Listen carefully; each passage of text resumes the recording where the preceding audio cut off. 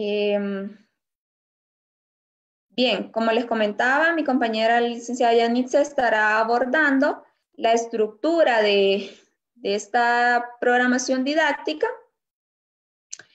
y les recordamos que las consultas van a ser abordadas a través del chat.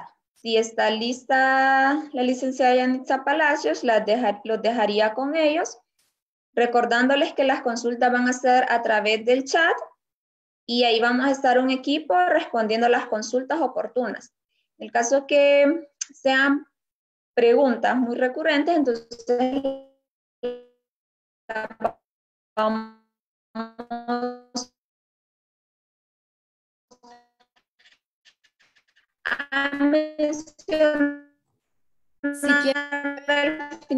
no se le escucha, no se le escucha bien. Si quiere repetir la última parte. De la capacitación para que sean que contamos con 285 partes.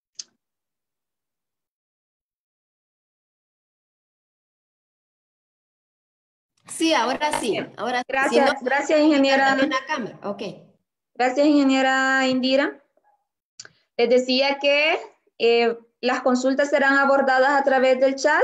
Está igual del equipo técnico el ingeniero Alan Andrade y la ingeniera Indira Pacheco en el caso que tengan eh, dificultades técnicas y estará abordando la parte pedagógica eh, mi compañero licenciado Luis Espinal, mi persona y la licenciada Yanitza que será la que abordará el tema principal.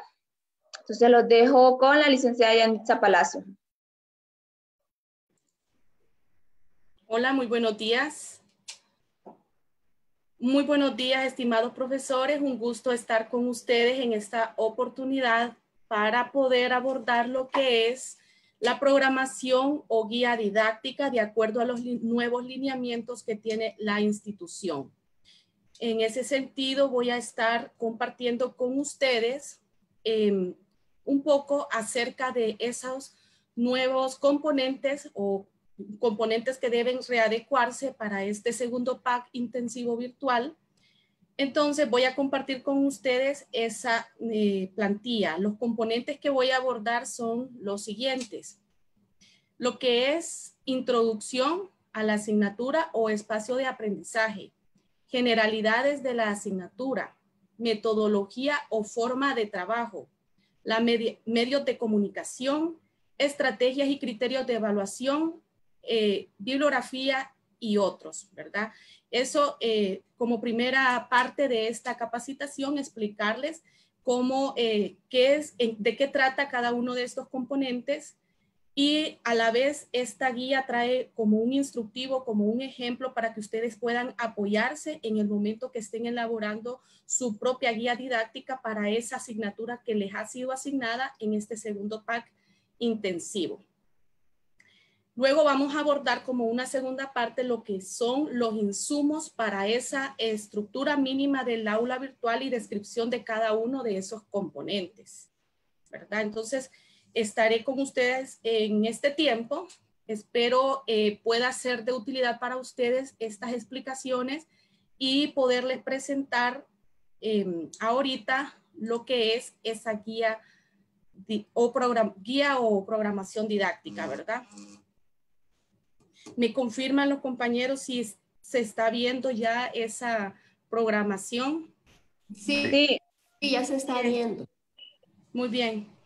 Entonces, eh, esta es la programación o guía didáctica, ¿verdad? Eh, como su título principal del documento.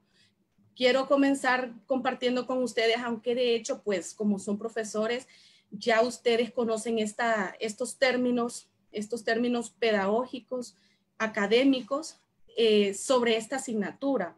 Pues, ¿para qué sirve una programación o una guía didáctica? Esta guía didáctica, más que todo, pues es un instrumento, se convierte en una herramienta que ayuda al aprendizaje autónomo del estudiante. Entonces, ahí el estudiante en este documento que él va a encontrar facilitado en su aula virtual, él va a poder darse cuenta, va a poder enterarse de qué trata la asignatura, cuáles son las principales actividades que va a desarrollar, cuál es la metodología que el profesor va a utilizar cuáles van a ser esas eh, estrategias de aprendizaje, los medios de comunicación, muy importante, sobre todo ahorita, ¿verdad? Que sabemos que tenemos que hacer uso eh, muy, muy, muy este, reflexionado, muy analizado de qué medios de comunicación se van a utilizar, cuándo se van a realizar esas, esos reunión, esas reuniones eh, sincrónicas o en tiempo real. Entonces, esta programación o guía didáctica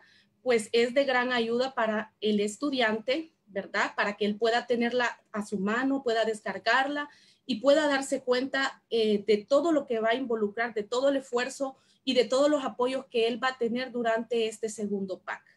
Entonces, eh, de hecho, pues se transforma en un gran apoyo también para el profesor como parte de su, su planificación didáctica de la asignatura. Aquí pues usted va a colocar el nombre de la asignatura, el nombre del espacio de aprendizaje o la asignatura. Va aquí de forma eh, de inicio, ¿verdad? Luego pues aquí eh, se hizo una tabla de contenido sobre estos aspectos que contiene esta guía o programación didáctica. Incluye una introducción a la asignatura, generalidades de la asignatura, metodología, asesoría o tutoría, las estrategias didácticas, materiales y recursos didácticos, las actividades de aprendizaje, medios de comunicación e interacción. Eh, importante, otras notas, ¿verdad? Estrategias y criterios de evaluación, la bibliografía y finalmente los créditos, que aquí es donde va pues el nombre del departamento, de la facultad y el nombre del profesor que diseñó esta programación o guía didáctica. Esto nos permite pues de manera más fácil ubicarnos en los elementos que queremos pues ver de forma inmediata. Si avanzamos en esta, en esta plantilla, vamos a esa primera parte, lo que es la introducción a la asignatura o espacio de aprendizaje. En, este, en esta redacción, porque lo que se trata es de que se, de que se introduzca la, la asignatura, se trata de que el profesor de manera muy amena, muy afectuosa, muy respetuosa, pues dé la introducción de la asignatura, de qué trata esta asignatura, ¿verdad? Es importante que él, él sepa, ¿verdad? Cuántas, cuáles son esas unidades generales, cuáles son esos objetivos generales que se esperan eh, lograr con, esta asignatura. Entonces, de, forma general, esta, esta introducción trata de explicar a los estudiantes lo que va a estudiar a lo largo de la experiencia del aprendizaje, dando un panorama general de la asignatura y la importancia de esta para su perfil de, profesional, ¿verdad? en qué contribuye eh, cálculo 1, en qué contribuye investigación, en qué contribuye estadística, para su formación profesional como, eh, como, como físico, como matemático, como contador público, en qué, en qué contribuye esa asignatura específicamente.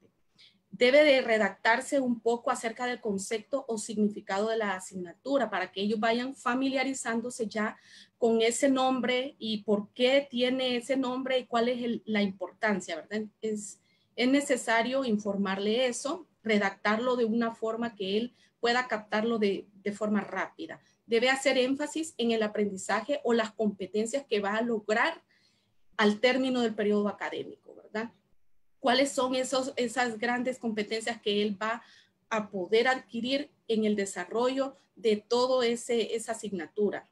Esta, esta guía pues debe ser amigable, empática, motivadora y comprensible que sienta el alumno que prácticamente su profesor al momento de escribir esa introducción, pues estaba como dialogando, estaba como conversándolo con él y le estaba diciendo como quien dice cara a cara, mira, eh, en esta asignatura es muy importante porque te va a ayudar a desarrollar el pensamiento crítico, a obtener destrezas, habilidades en el desarrollo de cálculo. De, bueno, ustedes que conocen la asignatura, pues sabrán específicamente qué palabras van a utilizar en la redacción de esta introducción. Entonces, finalmente vamos a hacer un cierre a la introducción para que el estudiante pues sienta como esa, ese ánimo, esa motivación por parte de ustedes de decirle, ¿verdad? Pues vamos a dar inicio a esta, a esta nueva experiencia, porque para ellos es una experiencia en, en dos, en dos eh, vías. Experiencia porque para ellos posiblemente será una nueva asignatura y también en una nueva modalidad. Entonces, eh, darle un cierre ahí de, de ánimo y de que comiencen la clase. Aquí en esta guía se les proporciona lo que es un ejemplo y ustedes pueden verlo. ¿Cómo inicia? Estimados estudiantes, reciban un cordial saludo de bienvenida al curso tal. Soy Juan Pérez. Allí colóquele usted eh, su nombre, profesor titular del espacio de aprendizaje y aquí mismo le puede ya este, dar el nombre de la, de la asignatura, de la asignatura. Nombre titular, ¿verdad? Del profesor titular de este espacio de aprendizaje o asignatura. Dentro de mis funciones, pues allí ya usted le va a comentar cuáles serán esas funciones como profesor tutor del curso y que le va a estar acompañando durante todo ese, ese, ese tiempo. En este espacio eh, donde se concluye, continúa la, la introducción, y ahí usted ya va lo que es introduciendo lo que son las unidades, los capítulos, los grandes temas de esta asignatura, ¿verdad? Se realizan los preparativos para la presentación de la defensa, en este caso, ¿verdad? Porque se está utilizando un ejemplo de una asignatura de proyecto de investigación aplicada. Entonces, si hay asignaturas que son de esta naturaleza, es oportuno que desde este momento usted le, le pueda decir, ¿verdad? Que esta, asignatura se trabaja con una metodología de proyectos, eh, aprendizaje basado en proyectos y cómo va a terminar ese trabajo al final del periodo, pues va a terminar con su tesis, con su investigación, que va a irse desarrollando a medida se avance en cada unidad. Entonces, desde esta primera eh, introducción, ustedes ya pueden dar a conocer al estudiante a lo que se va a enfrentar en la, en la asignatura.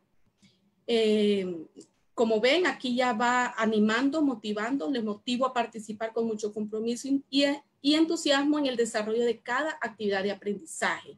Aquí se puede utilizar también una frase célebre, usted podrá escoger, ¿verdad?, dentro de las que más le gusten de algún, de algún autor, de algún, ¿verdad?, especialista en el área o, o de la educación y darles ese recuerde que el mejor experto también fue un día aprendiz, ¿verdad?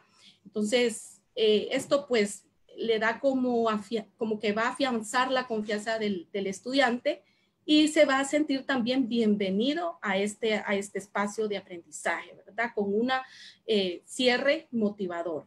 Entonces, esto, de esto trata esta primera parte, la introducción a la asignatura a grandes rasgos es dar a conocer a, los estudiantes de qué trata la asignatura, cuál es su importancia, cuáles son los grandes temas que tiene. Importante que usted cuide la redacción. Aquí pues usted va a ir redactándola ahí en un documento de Word, ahí mismo en esta plantilla, para detectar algunos errores, ¿verdad? Si hay un error de coma, de espacio, de poder acentuar de, los, de las tildes, ¿verdad? O bien si por errores ortográficos que pues nadie, nadie lo sabe todo, como dice este, este, esta frase que algún día fue, eh, el experto también fue un día aprendiz. Pues de repente a todos nos puede ocurrir que haya un error ortográfico. Entonces ahí es importante detectarlo y que no se nos vaya a pasar o, de, o puede ser de redacción también, ¿verdad?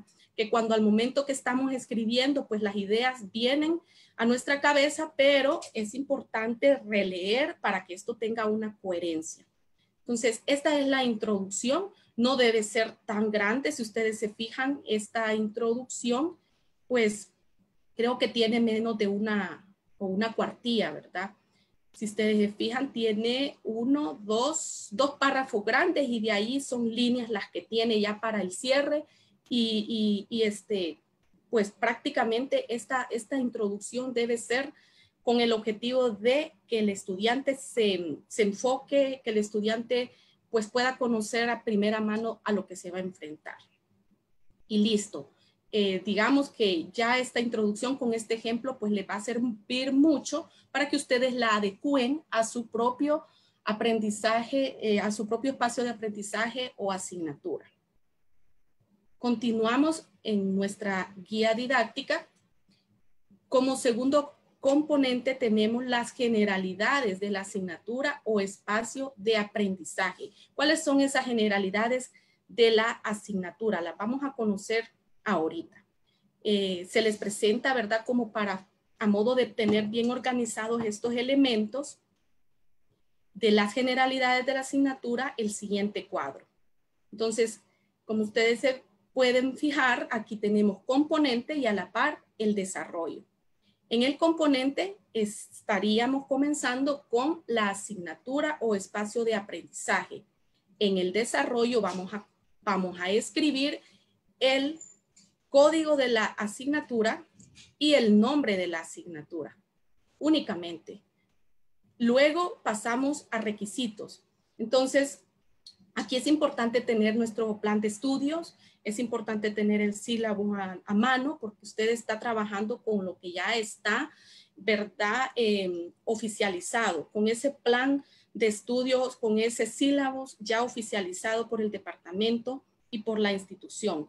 Entonces, nos, nos podemos apoyar de esos documentos oficiales, identificar, o si usted ya se lo sabe, cuáles son esos requisitos para la asignatura, si los tiene.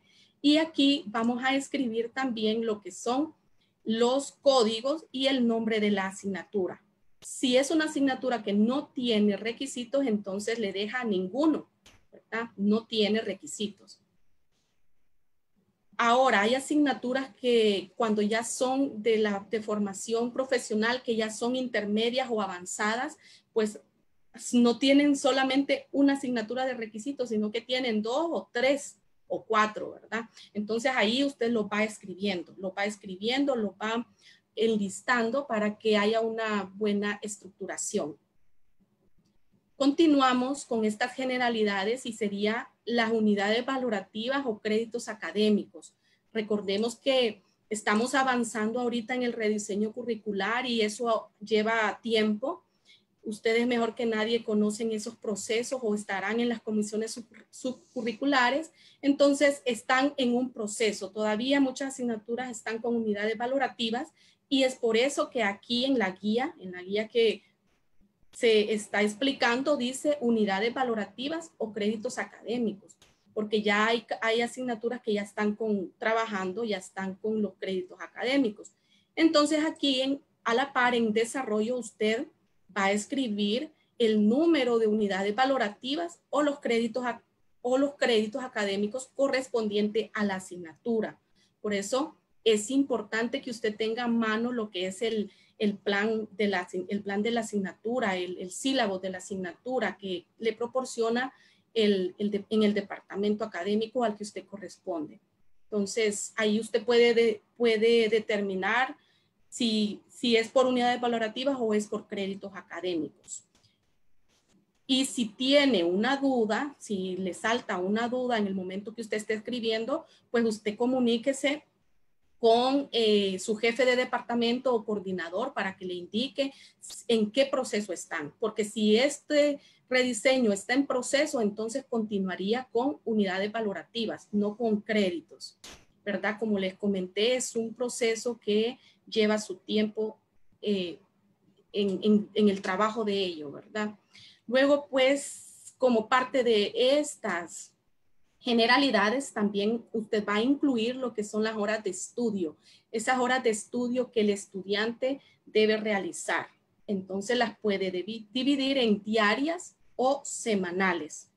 Entonces, estas son horas de estudio recomendadas para el estudiante. Usted puede hacer un cálculo, ¿verdad? Si es que el alumno necesita estar eh, una o dos horas diarias o si es que necesita estar tres horas eh, eh, semanales, ¿verdad? Usted va a determinar, esto dependerá de la, de la asignatura, esto depende de la asignatura, del trabajo a desarrollar, de si es una asignatura avanzada o es una asignatura general, eso dependerá. Continuamos con los objetivos o competencias. Estas son generalidades, generalidades que el estudiante debe de saber.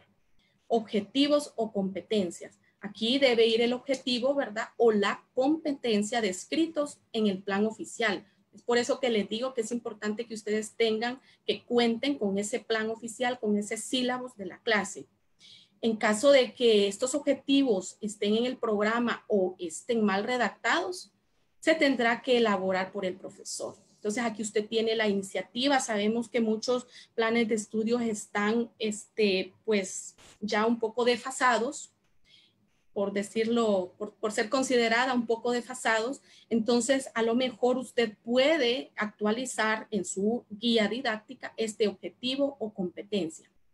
En caso de que tenga que redactarlo, entonces recuerde que usted tiene que hacer un objetivo en función de lo que su estudiante va a lograr una vez que finalice esta asignatura. No es en función de lo que usted va a desarrollar o presentar, sino que lo que el estudiante va a realizar, lo que va a desarrollar, qué competencias cognitivas, qué competencias conceptuales, instrumentales, él va a ser capaz de desarrollar una vez que apruebe esta asignatura. Recordemos que este es un instrumento no para su planificación, forma parte de la planificación didáctica, pero es más bien una herramienta, un apoyo para el estudiante, para que él pueda eh, tener todos los elementos que necesita para su aprendizaje autónomo. Aquí eh, se le da algún ejemplo, ¿verdad? Como les mencionaba, estos objetivos o habilidades pueden presentarse desde una dimensión cognitiva relacionados con, sus, con las habilidades, con las destrezas, con las actitudes y los valores que se van a desarrollar a través de la asignatura. Y aquí tenemos un ejemplo. Por ejemplo, este es una, estábamos con el ejemplo de una asignatura de investigación aplicada. Entonces el ejemplo es realizar investigación como herramienta de trabajo en su práctica profesional en los diferentes ámbitos educativos, identificando y aplicando los elementos metodológicos de acuerdo a los paradigmas de investigación. Y así tenemos otro ejemplo, ¿verdad? Aquí nos puede servir mucho lo que es la taxonomía de Bloom. Entonces, si, es que si es que a usted le toca redactarlo, ¿verdad? Rehacer este objetivo o esta competencia, entonces puede usted buscar algunos elementos de apoyo, como ser la taxonomía de Bloom, la rueda de la pedagogía. Esto nos ayuda mucho para, eh, pues, poder ubicar esos verbos que, que nos ayudan, que nos aportan en esos objetivos. Vamos con, la siguiente, con el siguiente elemento de las generalidades de la guía didáctica. Contenidos. Contenidos y a la par está el desarrollo. Entonces aquí ustedes pueden ver que está unidad 1, aquí iría el nombre de la unidad. Luego tenemos tema 1, tema 2. Puede ser que hayan unidades o, haya asignaturas, ¿verdad? Que son un poquito más mm, de más contenido o que son más complejas o que tienen más unidades, entonces usted sigue agregando unidades y va agregando temas. Puede ser que este, esta unidad 1 tenga dos temas, pero si va a tener tres temas, cuatro temas, entonces lo sigue agregando y va escribiendo el nombre. Ese nombre de la unidad es como el nombre general, ¿verdad? Como del el que se va a ir desprendiendo tema 1, tema 2. Por lo general he visto que en las unidades 1 eh, son introducción, introducción a la investigación aplicada, generalidades o conceptos. Eh, ahí depende de la, de la, asignatura o puede ser que ya vamos directamente, si es una asignatura ya mm, un poquito más avanzada, pues a los contenidos ya más eh, exactos, más puros de la, de la asignatura. Esto depende de la, de la asignatura, ¿verdad? Y en sí, estos son los, las generalidades que tiene la guía didáctica. Para recapitular un poquito, vamos a regresar. Disculpen si los mareo un poquito al mover eh, este documento. solo para eh, recordarlo, ¿verdad? Ahorita vimos lo que es la introducción y un ejemplo. Estos son los componentes generales, ¿verdad? Y se trabajan o se presentan en este cuadro, lo cual facilita mucho eh, la asignatura, requisitos, unidades valorativas o créditos académicos, horas de estudios recomendadas, los objetivos o las competencias, contenidos. Y esta, estos contenidos, pues, ahorita usted está en esa, en esa facilidad de poder llevarlo a la creatividad, de poder actualizar, de poder mejorar, de actualizar estos contenidos y de presentarlos de una forma más eh, amigable. Vamos ahora con otro de los grandes componentes de la guía metodológica y es la metodología. ¿En qué consiste esta metodología? Pues básicamente es la forma de trabajo que, eh, usted va a diseñar o cómo la planificó eh, de este nuevo, nuevo segundo pack que va a ser intensivo, que es virtual. Entonces aquí le va a indicar cuál es esa forma de trabajo. Entonces debe redactarse de tal manera que deje completamente claro al estudiante los parámetros bajo los cuales se llevará a cabo el proceso de enseñanza-aprendizaje y el enfoque pedagógico que guiará el proceso formativo durante el curso o periodo académico. Se debe recalcar que este segundo pack es intensivo y virtual, porque puede ser que si, si cuando es un, es un periodo ¿verdad? regular, muchas veces los estudiantes están diciendo que este, las actividades están como muy seguidas o que están cargados, que tienen otras asignaturas también. Entonces, ahorita ellos desde esta guía metodológica, se desde, desde esta guía eh, didáctica, a través de su metodología, se les debe hacer énfasis que ellos tienen que hacer un gran esfuerzo porque este periodo es intensivo y virtual. Entonces, habrán actividades que van a tener que, no como no contamos con el tiempo de un periodo normal, entonces habrán actividades que van a ser con evaluación continua y el estudiante a través del aprendizaje autónomo, independiente, él tendrá que hacer su propia agenda. En esta, en esta parte se debe comunicar de manera general cómo será el proceso de evaluación. Esto es muy importante. los procesos de evaluación, cuáles van a ser esas actividades que van a realizar ellos, desde las actividades acumulativas, como, como las llamamos, y también las actividades ya integrales, como ser los exámenes es importante que él conozca de forma general cuáles son esas actividades. Y es aquí en la metodología que se debe explicar esto. Especifique todos los apartados que considere necesario, le deben quedar claros al estudiante. Entonces aquí en la forma de trabajo es como quien dice aquí, estos son los soportes, estos son los apoyos con los que usted cuenta y estas son las actividades, los medios de comunicación con los que vamos a trabajar. Igualmente, aquí tenemos un ejemplo. Este ejemplo les va a ayudar mucho a ustedes a poder eh, tener una idea de cómo adecuar su propia programación o guía didáctica. El proceso, aquí estamos, vamos a leer un poquito de este ejemplo. El proceso de enseñanza-aprendizaje de esta asignatura o espacio de aprendizaje. Escribe el nombre de la asignatura. Investigación aplicada puede ser se desarrollará mediante la modalidad virtual. Y aquí todo, ¿verdad? Porque sabemos que es todo, todas las clases van a estar en, haciendo uso de lo que es el campus virtual de la UNAM. Las actividades se han diseñado para que cada estudiante construya su propio aprendizaje siendo el protagonista del mismo, utilizando técnicas interactivas. Entonces, aquí usted mira un ejemplo, un ejemplo bien, bien corto, bien breve. No necesitamos redactar grandes párrafos o dos páginas, los cuales el estudiante sabemos no las va a leer. Entonces debemos de sintetizar, debemos de, asegurarnos que esta guía sea lo más práctica posible.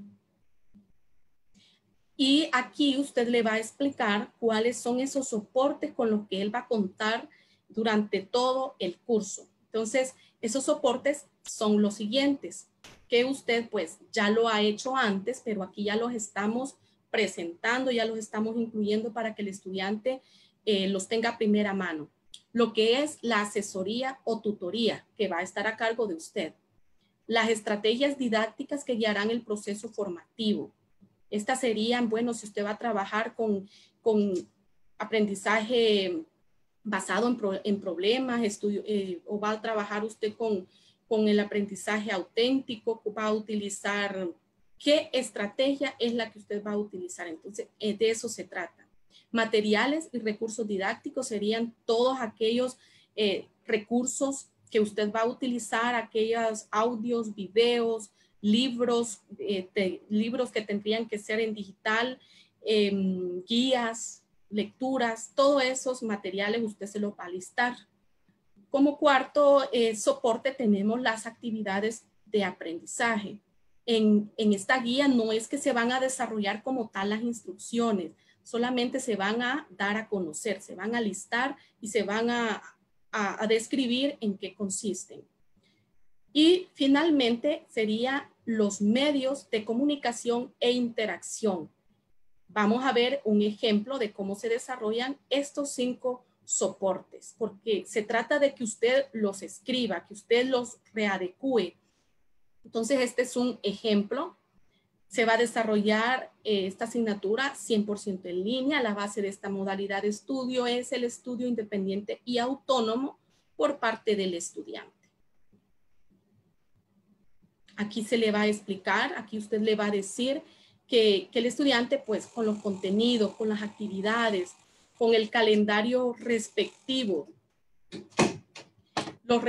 eh, y todos esos materiales que usted le va a proporcionar a través del aula virtual, pues él va a tener que asumir esa responsabilidad en su propio aprendizaje. El estudiante asume la responsabilidad de autoadministrar sus estrategias de estudio y tiempo de dedicación, ¿verdad?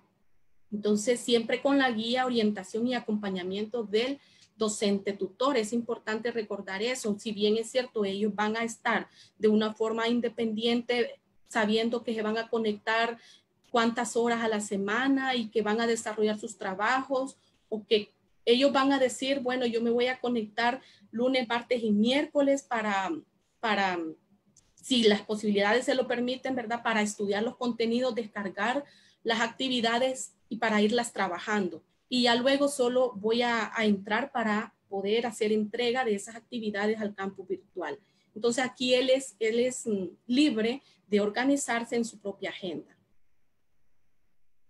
Es importante, ¿verdad?, que eh, el estudiante en la modalidad virtual se caracteriza por la participación activa en la construcción de su aprendizaje. Y sabemos que este, esa participación activa eh, parte como de un 50 y 50%. Es el profesor que tiene que estar dinamizando siempre porque de ellos, de ellos solos no sale la, iniciativa. Muchas veces quisiéramos más participación o más, más preguntas o, más, mm, más que el estudiante estuviera más pendiente del, calendario de las actividades o si tiene consulta, pero muchas veces ahí ocupa el apoyo del, del profesor y bueno, esto fue un tema que abordamos ayer. Esto eh, logrará con el aprendizaje autodirigido la colaboración, la orientación del experto, una tutoría adecuada y el uso de medios electrónicos. Este aprendizaje autodirigido consiste en un estudio individual, realización de tareas, análisis de información, la investigación documental y de campo. Entonces, esto va ligado con las actividades que se le van a diseñar que usted como docente le va a diseñar, porque de eso depende, ¿verdad? Si el estudiante no tiene, digamos, actividades o tareas que lo lleven a esa búsqueda de información o un trabajo de campo que puedan realizar ellos ahora utilizando más que todo las fuentes eh, bibliográficas en Internet que tenemos a disposición, ¿verdad? Pues eh, él no lograría eso. Por eso es importante eh, tomar en cuenta esas actividades. El aprendizaje colaborativo se caracteriza por una discusión y debate, análisis de información en grupo o uso de técnicas didácticas de aprendizaje, por ejemplo, orientado a proyectos, estudio de casos, eh, basado en problemas, eh, aprendizaje, ¿verdad? Que va a tener un tipo de evaluación diferente. Bueno, eso depende de cómo se le desarrolle esas actividades al estudiante. Sigue, ¿verdad? indicando aquí de que es importante promover ese autoaprendizaje y la autogestión, teniendo el estudiante la libertad de solicitar e interactuar con el profesor, tanto sincrónica como asincrónicamente. Y aquí usted puede tener la libertad de decir desde el inicio, ya lo vamos a ver más, más abajo, cuántas, si se van a programar esas reuniones sincrónicas o en tiempo real, indicarle cuántas reuniones y cada cuánto. Entonces, eh, es importante ya dejarlo establecido desde el primer, eh, desde, este, desde este instrumento de apoyo. La intervención del profesor incluye el desarrollo de contenidos a través de material y recursos colocados en el aula, aula virtual de la asignatura, programación y desarrollo de videoclases, retroalimentaciones y resolución de dudas por varios medios foros, correo electrónico y sesiones en vivo, y la asesoría pedagógica y académica permanente durante el desarrollo del periodo académico hasta el cierre del mismo. Entonces, eh, cuando usted vaya a trabajar esta guía didáctica, recuerde, ¿verdad? Que usted aquí va a tener que hacer algún trabajo de su propia autoría, ya sean unos videos cortos, audios, alguna guía de, ejercicios, eh, presentaciones que posiblemente usted ya tiene y que ha utilizado en periodos anteriores, esas las puede eh, utilizar acá también. Y hacer uso, hacer uso de los medios de la plataforma y de otros medios que usted considere pertinente. Como 3.1, asesoría o tutoría. Aquí estamos hablando de este primer eh, elemento, de este soporte con el que va a contar el estudiante a lo largo del curso. Entonces aquí usted va a explicar, no, no, no, no voy a leer todo lo que está aquí porque ustedes van a tener a disposición esta guía. Aquí usted en la asesoría va a explicar que va a tener el apoyo de, de, de usted como asesor, como facilitador, como tutor titular de la asignatura, va a tener ese apoyo quien le va a acompañar para aclarar dudas, revisarle sus actividades, evaluar su desempeño, apoyarles en alguna dificultad y dándoles respuestas a sus inquietudes, ¿verdad? En el foro de consultas académicas, mensajes electrónicos en un plazo no mayor de 48 horas, ¿verdad? Ya está, se establece aquí un tiempo de 48 horas en caso y se deja este, esta información, este apartadito que en caso de que su profesor no responda o en caso de que él no responda, ¿verdad? Como usted está escribiendo eh, eh, aquí su guía, entonces le, tendrá que redactar que en caso de que no se, no se le atienda o no le responda en tiempo oportuno, deberá acudir o deberá contactar al jefe de departamento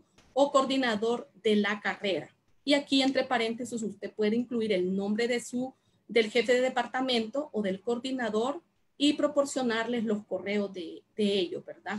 Esto en caso de que haya alguna complicación en el momento de la asesoría.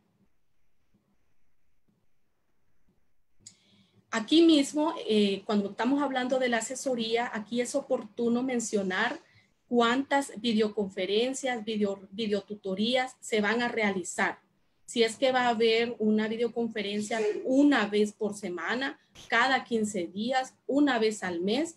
Esto, quien lo decide, pues es usted como docente, como dueño de su espacio de aprendizaje o asignatura. Usted decide, ¿verdad? De acuerdo a la naturaleza de la asignatura, de acuerdo a si hay trabajos colaborativos, trabajos de proyectos que requieren una explicación más profunda o un acompañamiento más seguido, más de, interacción cara a cara con sus estudiantes, entonces ahí usted lo va a indicar. Creo que eh, vamos avanzando ya con el 3.2, estrategias didácticas. Esto siempre ya es siempre es en el componente de metodología, ¿verdad? Que, que les comentaba es como decirle a los estudiantes, usted va a contar con estos soportes, que son cinco, y ahorita vamos por el segundo, estrategias didácticas. Entonces existen estrategias y metodologías pedagógicas que orientan de manera concreta la planeación, desarrollo y evaluación de las actividades de aprendizaje. Entonces, por mencionarles algunas, está el aprendizaje por proyectos, basado en problemas, por indagación, colaborativo, entre otros. Aquí eh, habrá que indicarles si se va a trabajar a través de una de estas eh, estrategias y metodología. Y aquí tenemos un ejemplo. Eh, este espacio de aprendizaje trabajarás algunas técnicas del aprendizaje basado de en investigación a partir de la realización de un proyecto de investigación científica. Entonces es importante mencionarle, se va a trabajar con esta metodología y la va a desarrollar a través de, a través de qué, a través de qué trabajo, a través de qué proyecto, a través de qué estudio de caso, a través de qué resolución de problema, se va a desarrollar esa metodología, es importante aclarárselo. Ustedes podrán leer esta, este ejemplo que se le da. Seguidamente ya estamos con el 3.3. Este es el, el, elemento de materiales y recursos didácticos. Aquí usted va a incluir todos esos materiales y esos recursos con los que el estudiante va, va a trabajar a lo largo del periodo académico. Entonces aquí usted puede ir listando o como usted guste en un párrafo le va redactando y le va a decir el libro de el libro de metodología de la investigación tal de tal persona y, y le va a poder indicar dónde lo puede obtener. Es importante indicar que si requiere un libro específico y la forma en que puede obtenerlo. Entonces, aquí si ustedes van a hacer actividades ligadas a un libro, ¿verdad? Que, que ustedes, que los estudiantes tienen que leer un capítulo o, algo, eh, o, tal vez algunas páginas de, un capítulo de un libro, entonces es importante indicarle cómo puede eh, adquirirlo, de qué forma puede obtenerlo, y es, es mejor que sea en digital, ¿verdad? y recordar que se deben de tomar en cuenta los derechos de autor. Si en ese libro no se permite utilizarlo, entonces usted no corra el riesgo de utilizar un libro que no, no está permitido. Entonces acá, este de materiales y recursos didácticos solamente sería listar todos esos materiales, como ser libros, revistas, periódicos, sitios web, presentaciones y estas presentaciones pueden ser de su propia autoría o presentaciones que ya están eh, libres para utilizar en internet eh, de SlideShare o de Prezi o otro, otro tipo de, de presentación. Guías de estudio, documentos electrónicos, entre otros. Avanzamos con las actividades de aprendizaje. Estamos eh, en la parte de metodología. Eh, en la, en la, guía didáctica vamos a hablar de la metodología y este, actividades de aprendizaje, se va a presentar, ¿verdad? Listando todas esas actividades de aprendizaje para lograr los objetivos o competencias propuestas. Entonces, eh, usted le va a decir que a continuación se le muestra una lista de algunas actividades que podría utilizar. Aquí se le muestran algunas, pero usted cuando ya esté trabajando su guía didáctica, pues ya solo va a ir a listar las que realmente se van a trabajar en la asignatura. Entonces, usted puede colocar algunas de estas, como ser foros. A la par va a definir en qué consiste el foro. Posiblemente no todos nuestros estudiantes estén familiarizados o tal vez sea la primera vez que van a participar en foro o ya lo conocen, pero es importante dejarle eh, una descripción breve de qué significa un foro. Entonces, eh, aquí usted le va a escribir, ¿verdad? Que el foro es un espacio interactivo para que ellos puedan em, compartir y debatir sobre alguna temática en específico de la asignatura y que lo que se espera es que ellos, ¿verdad?, puedan potenciar algunas habilidades como el pensamiento crítico, el debate y posicionarse ante, ante otros compañeros, ¿verdad? Porque el foro de eso se trata, que él participe, que escriba, que de, de su punto de vista de acuerdo a algunos parámetros que usted le va a escribir. Luego serían casos prácticos. Defina en qué consisten esos casos prácticos. Ahí es, en esos casos prácticos usted va a indicarles en qué consiste, para qué le va a servir y esto de una forma breve. Ensayos, cuadros comparativos, resúmenes analíticos, investigaciones bibliográficas y de campo, pruebas objetivas, mapas conceptuales y las videotutorías también aquí incluidas dentro de las actividades, ¿verdad? Es importante que se defina en qué consisten. Estas solo son algunos ejemplos de lo que usted puede utilizar, pero ya la asignatura por su propia naturaleza tiene algunas actividades, ¿verdad? Que tal vez estas que le digo no se ajusten, pero sí le sirven mucho para eh, tomar en cuenta esa readecuación. ¿verdad? Entonces aquí se le dice, pues hay otras actividades que usted considere pertinentes, ahí las incluye.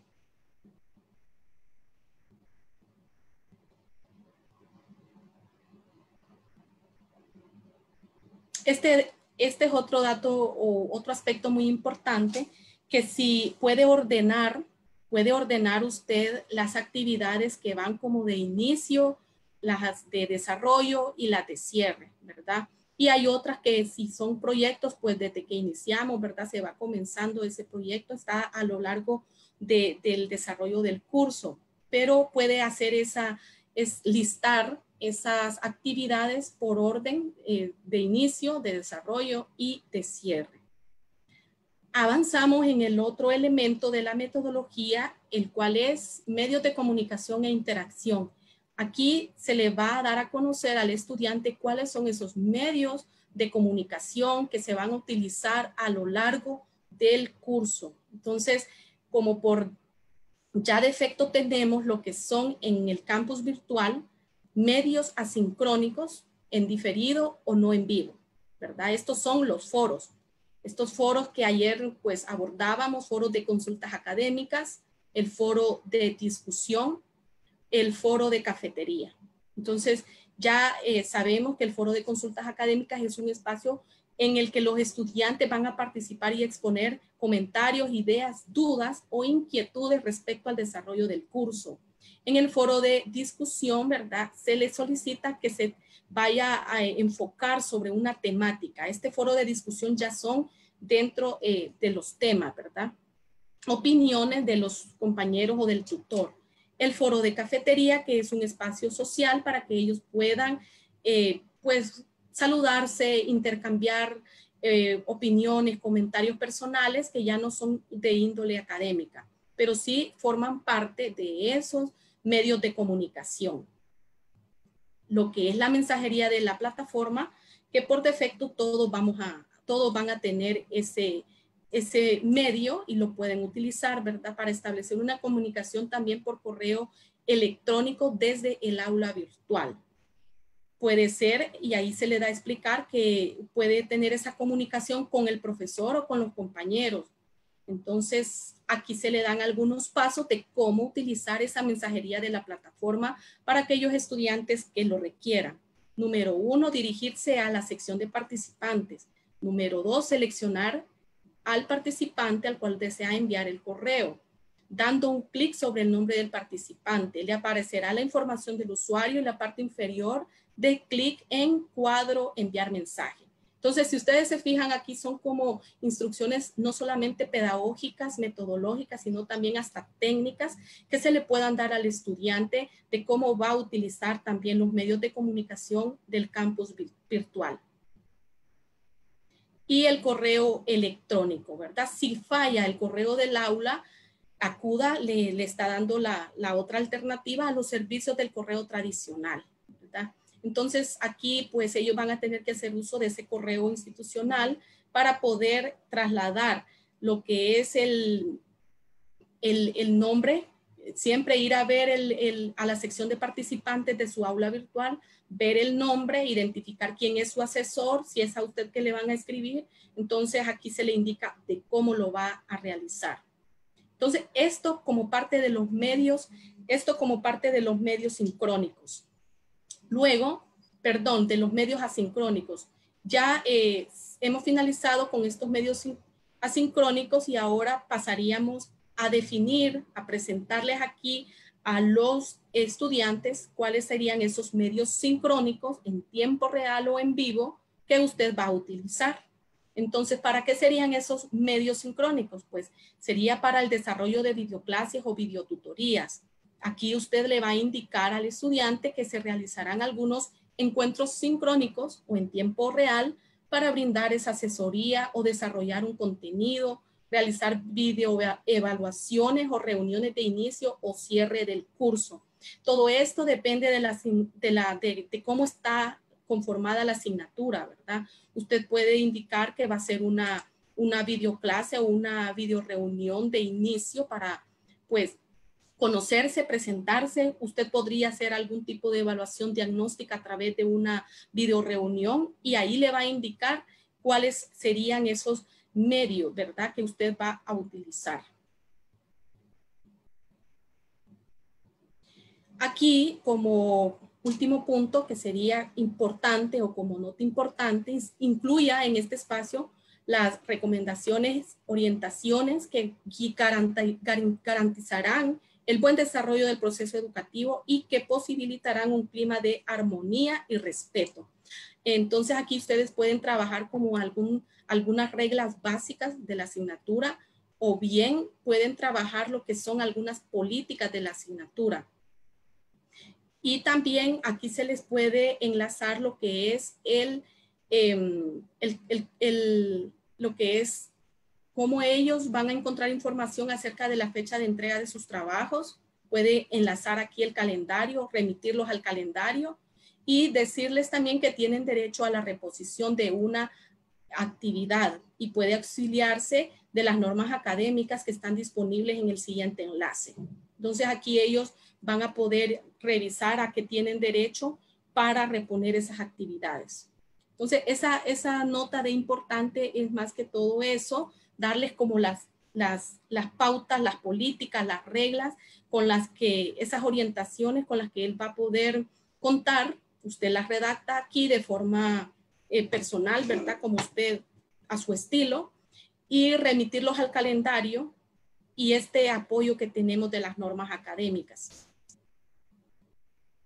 Vamos con la, el, último elemento de esta metodología que es las estrategias y criterios de evaluación. Entonces, en este apartado debe mencionar los tipos de evaluación, las estrategias e instrumentos de evaluación que utilizará en el desarrollo de la asignatura. Estos tipos de, de, de evaluación pueden ser diagnóstica, evaluación formativa, sumativa, la cual comprende exámenes y pruebas. Las estrategias como autoevaluaciones, coevaluaciones o evaluación entre pares.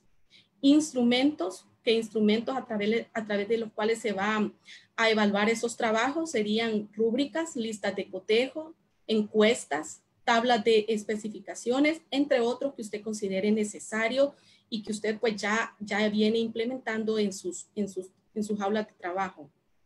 También debe incluir los criterios de evaluación, los cuales hacen referencia a los requisitos que se considerarán para emitir las calificaciones de los estudiantes. Entonces aquí contamos, ¿verdad?, con, con estos tres elementos, actividades de aprendizaje, porcentaje y los criterios de evaluación o aspectos a evaluar.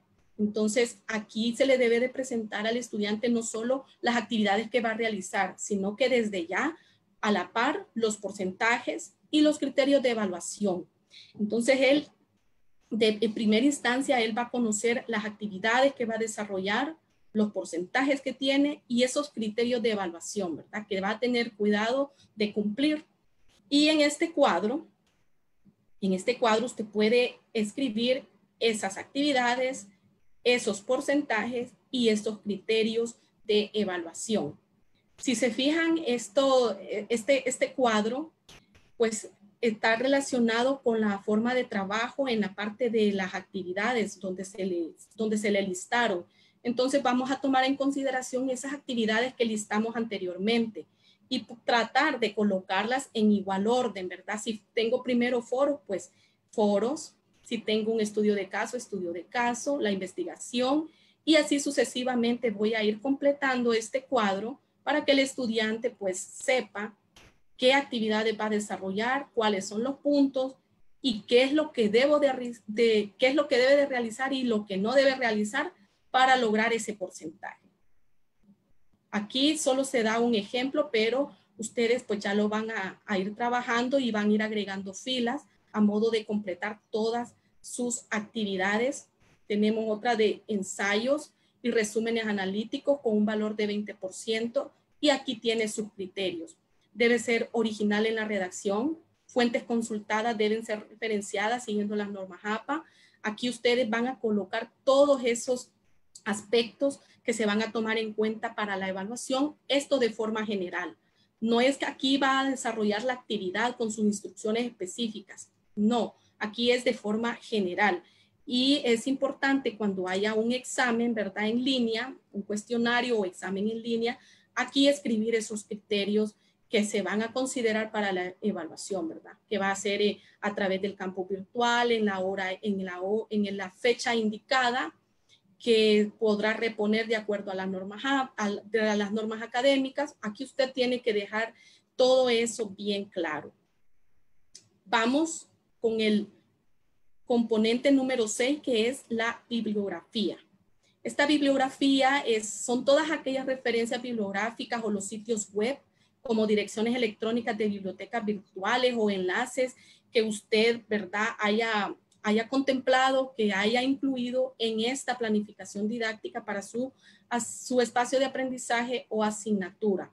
Entonces, el estudiante va a poder profundizar el estudio de los temas de una forma independiente, ¿verdad? O para contestar alguna actividad, porque si, se, si una actividad se liga a uno de estos, de estas bibliografías, es importante que aquí se incluya la bibliografía, la cual debe estar referenciada según las normas APA, ¿verdad? Eh, lo importante considerar la bibliografía actualizada y que proceda de sitios confiables y libres de derechos de autor. Cuando hablamos de sitios confiables, ¿verdad? Ustedes son conocedores que Wikipedia, monografías, El Rincón del Vago y otras, pues no son confiables y esas ustedes no las van a, no, no, esa, no se pueden colocar aquí como una fuente bibliográfica en la que ustedes consultaron, ¿verdad? puede seccionar este apartado este, de, bibliografías en obligatoria y complementaria. Entonces, si una lectura es obligatoria, la va a, escribir dentro del título obligatoria y si es complementaria, dentro de las complementarias. Y aquí usted puede utilizar viñetitas para dar una mejor organización a su guía didáctica. Y eh, finalmente, pues como todo trabajo que usted desarrolle, debe de llevar los créditos, ¿verdad? Entonces, en este apartado va a créditos, usted va a escribir la facultad o centro regional al que pertenece, el departamento académico, su nombre y la fecha. Este es un documento de su autoría. Entonces, debe de llevar como tal lo que es eh, su nombre.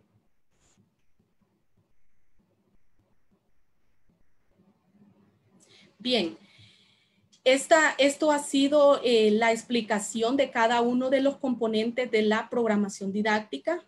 Como ustedes se fijan, se abordaron de manera general, son, son amplios.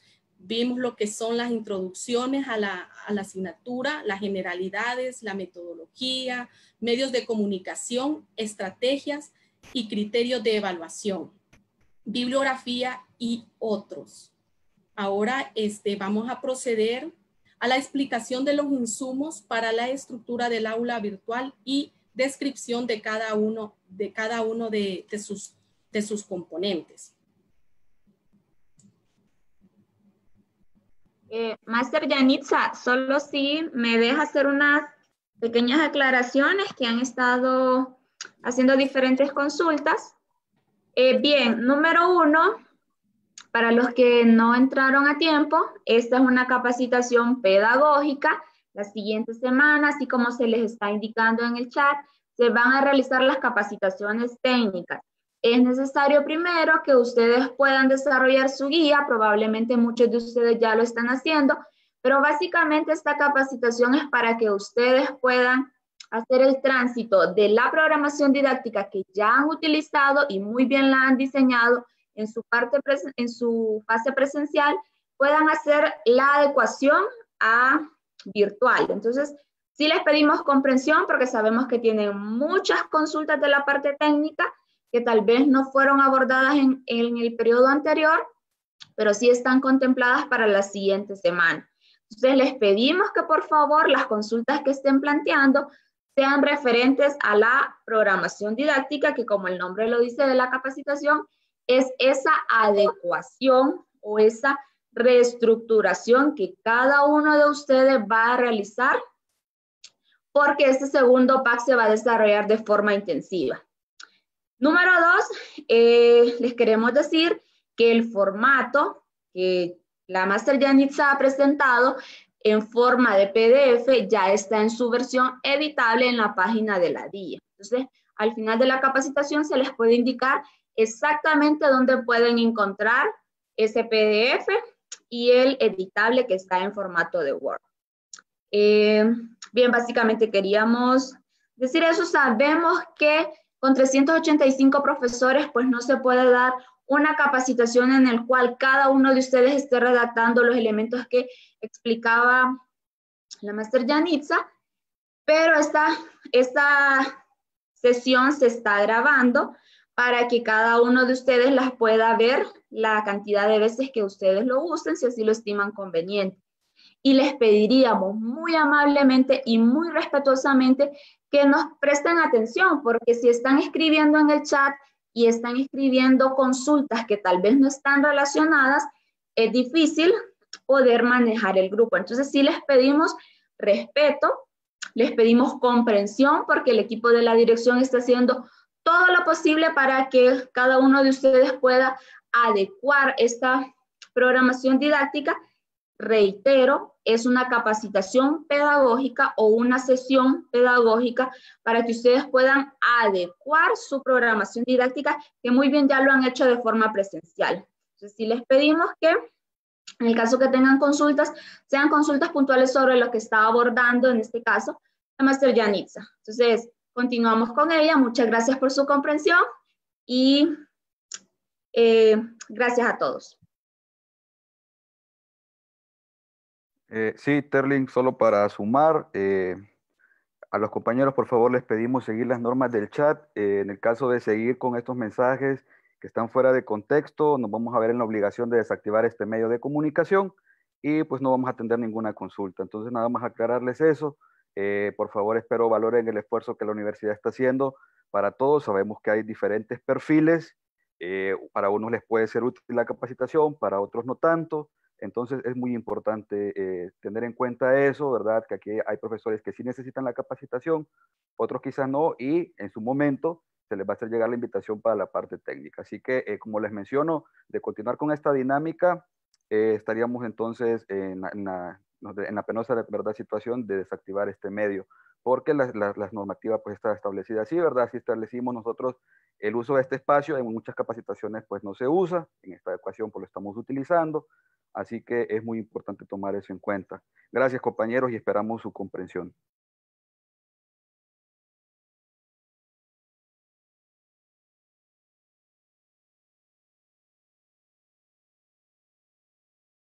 No te escuchamos, Yanni. Muy bien, este un poco repetitivo posiblemente. Yo sé que ustedes ya conocen, ya desarrollan estos trabajos, pues, pero la verdad es que como son nuevos lineamientos institucionales, nuestro deber es presentarles y explicarles ¿Cuál es esa, nueva estructura, verdad, con la que ustedes van a estar trabajando? Pues me alegra mucho saber que ustedes ya conocen de esto. Vamos a, conocer de experiencias y guías didácticas que ustedes van a trabajar de manera muy innovadora. Entonces, realmente mi deseo no es venir a repetir o cansarles de ninguna manera. Eh, todos aprendemos y creo que, y creo que, que al momento que que se vayan a sentar a, readecuar su programación o guía didáctica es donde se van a encontrar y eso nos sucede mucho, ¿verdad? ¿Cómo fue que, cuáles eran las estrategias, dónde las voy a colocar, cómo redactarlas? y sé que todos resolvemos de una forma eh, particular, ¿verdad? Independiente ese, ese, ese apartado. Pero sí, pues vamos a continuar con la agenda que se nos ha instruido y eh, ahorita pues ya prácticamente es mostrarle los insumos que ustedes deben de tener. Ya vimos la guía didáctica, los elementos que contiene y esa estructura y el tipo de redacción que ustedes van a desarrollar. Eh, ustedes van a tener a su disposición esa guía para que la puedan trabajar y ahorita básicamente lo que les voy a mostrar es como esos insumos que ustedes van a tener ya listos, porque ya la próxima semana es, las capacitaciones ya son de índole técnico. Entonces ustedes ya tienen que tener esa carpeta donde solo vayan copiando y pegando, copiando y trasladando ya a su espacio de aprendizaje virtual. Eh, voy a a iniciar, ¿verdad? Porque eh, ahorita ya vimos las generalidades de la asignatura, que esas todas ustedes la van a trabajar en esa programación o la guía didáctica. Y como pues sé que ya la manejan muy bien, ya, ya, ya conocieron cómo va, está estructurada según estos nuevos lineamientos, pues eh, solo voy a ir mostrándoles cómo van a ir trabajando ustedes esos insumos. Espero eh, no tardarme mucho, espero no aburrirles y seré lo más práctica posible, lo más práctico posible. Entonces voy a hacer lo que es em, en una carpeta, voy a abrir una carpeta, voy a ir trabajando ese calendario de actividades con algunos dos ejemplos, incluyendo lo que es el, calendario de videoclases, foro de presentación, un ejemplo, un foro de consultas técnicas y académicas, el foro de cafetería, un desarrollo de la unidad, desarrollo del tema, introducción al tema de recursos y este no lo voy a desarrollar por completo. Aquí lo que vamos a hacer es mostrarles cómo ustedes pueden ir trabajando su carpeta de insumos, que lo van a tener chance de trabajarlo entre jueves, viernes y que nosotros vamos a estar a disposición para las consultas que tengan en el momento, ¿verdad?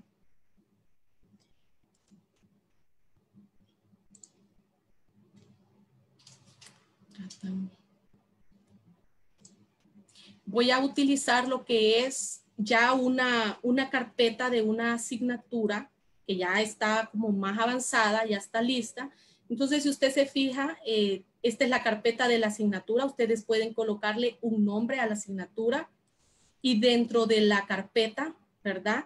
Ustedes ir haciendo todos esos insumos. Incluso incluir una carpeta de anexos para todas aquellas lecturas, recursos, de contenido que van a utilizar y ahí mismo tenerlos organizados. Bien, ahorita vamos a trabajar lo que es ese calendario de actividades en un documento de Word eh, aparte, ¿verdad? Lo vamos a trabajar.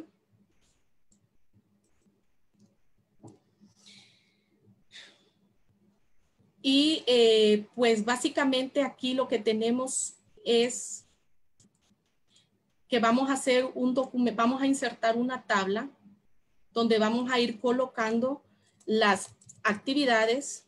Déjenme eh, compartir porque no lo estaba haciendo. Sí, esto le iba a mencionar, Master Yanitza, que no ha compartido pantalla. Sí, ahorita les, les comparto. Entonces aquí em, vamos a trabajar lo que son las actividades. Este es nuestro calendario los porcentajes de esas actividades y los criterios de evaluación. ¿Verdad?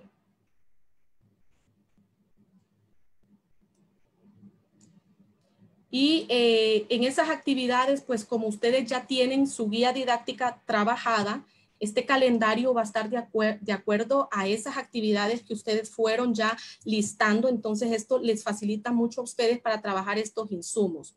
Entonces, puede ser que sea un foro, resolución de guía de ejercicios, eh, casos prácticos, y aquí ustedes van a ir definiendo lo que son esos porcentajes que van a tener cada una de las actividades.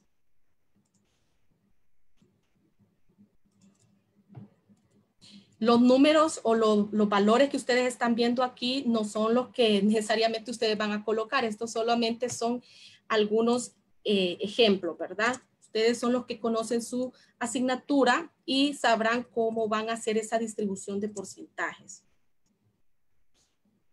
Y aquí vamos a anotar lo que son esos criterios de evaluación. Criterios de evaluación. Bueno, el foro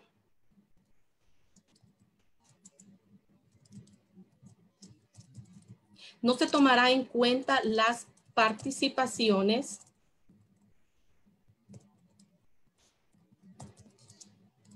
que eh, digan estoy de acuerdo con el compañero.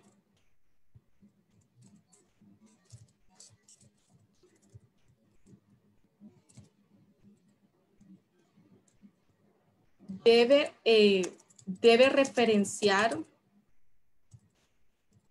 las lecturas indicadas.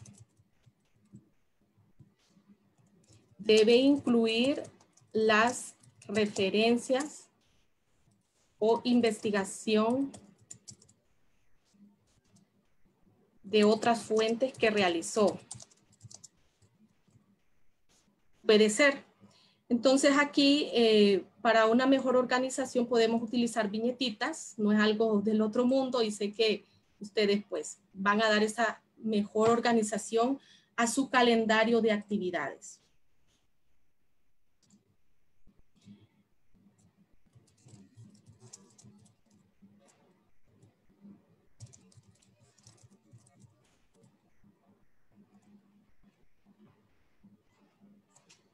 Y aquí van a escribir lo que es el nombre de la asignatura, ¿verdad?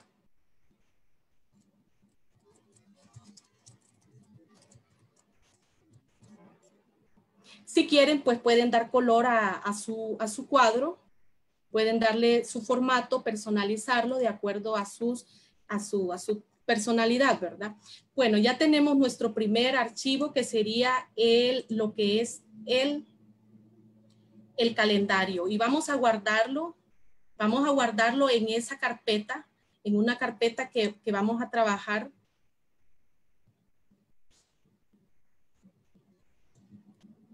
Mm. Investigación, por ejemplo.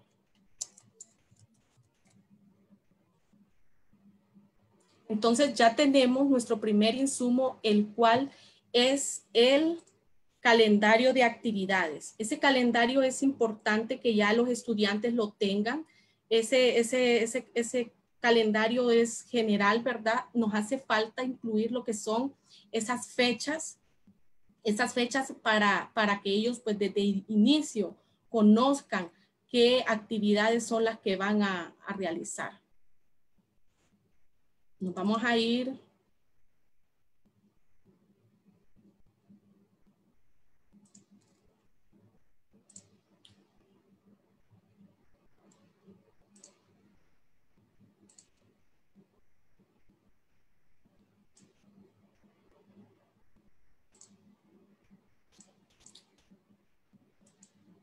y vamos a incluir lo que es estas, estas fechas, estas fechas de, de desarrollo que van a tener las actividades.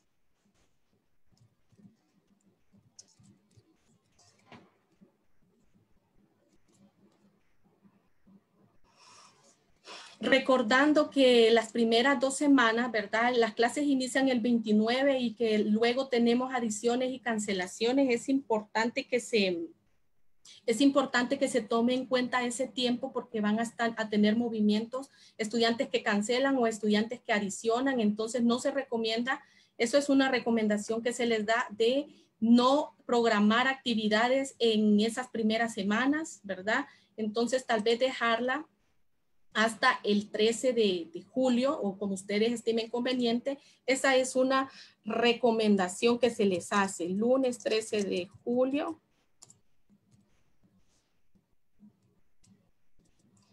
2020. Entonces, aquí también se le puede escribir lo que es el tiempo mínimo eh, máximo, ¿verdad? Que esa, la plataforma va a estar habilitado. Entonces, habilitado hasta las 23 con 55 pm.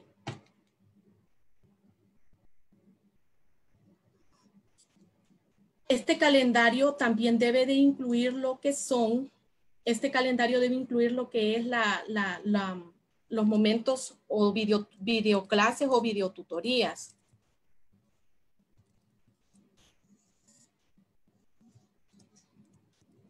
Entonces aquí la videoclase, no sé si ustedes van a asignar un punto o dos puntos o no le van a asignar o es obligatorio asistir, aquí se lo deben de indicar a la par, colocar la fecha en la que se van a, conectar y si es posible, ¿verdad? Si es posible ya el enlace para que ellos se conecten y no tener ningún problema cuando ya estén en el desarrollo.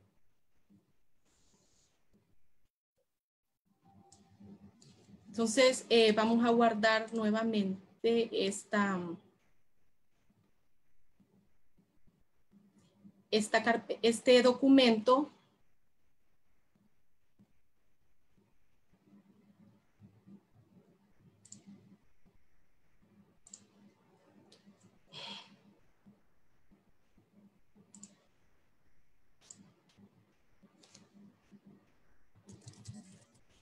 calendario. Ya tenemos entonces nuestro calendario.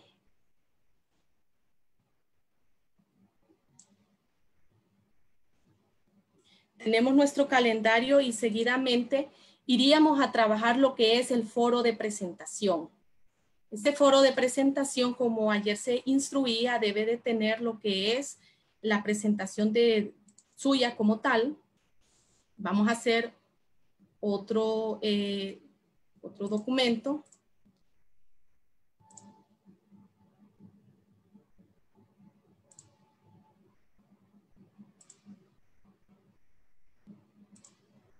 Y en este documento ustedes van a escribirle foro de, foro de presentación. Ahí usted va a redactar de acuerdo a su estilo esa presentación. Entonces,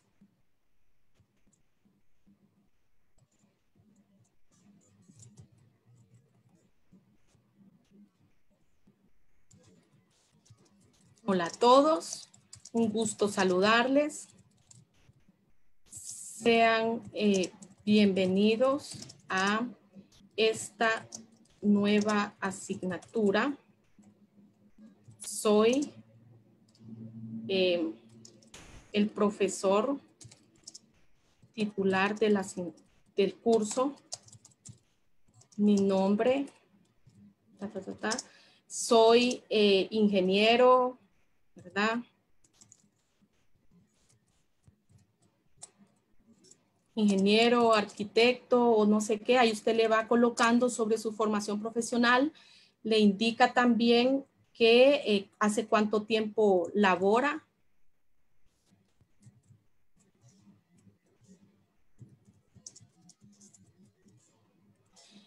Em, también puede compartir sobre algo personal, algo sobre usted como persona, no solamente eh, mostrarse la parte profesional, puede un poquito abrirse y humanizar, ¿verdad? Indicando de que le gusta compartir en familia,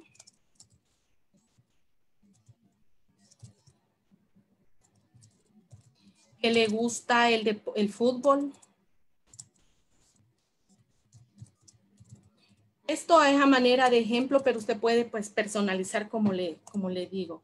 Y luego, una vez que ya lo tiene, esto es importante, ¿verdad? Ver eso si hay un, hay un error ortográfico.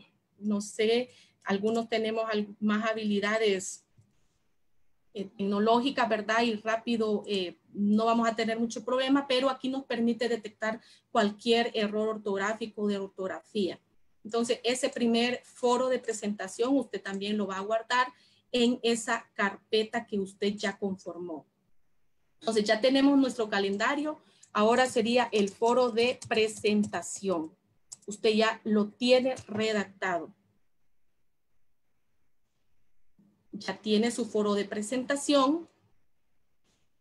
Ahora iríamos,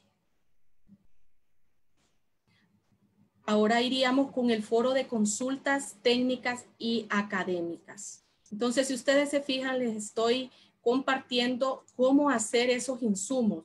Ya usted tenía su programación didáctica, la tiene en su carpeta, ya ahora está haciendo el calendario y este, va a trabajar eh, todos esos foros, tenerlos listos ya en su carpeta y va a trabajar ahora lo que es eh, el foro de consultas académicas.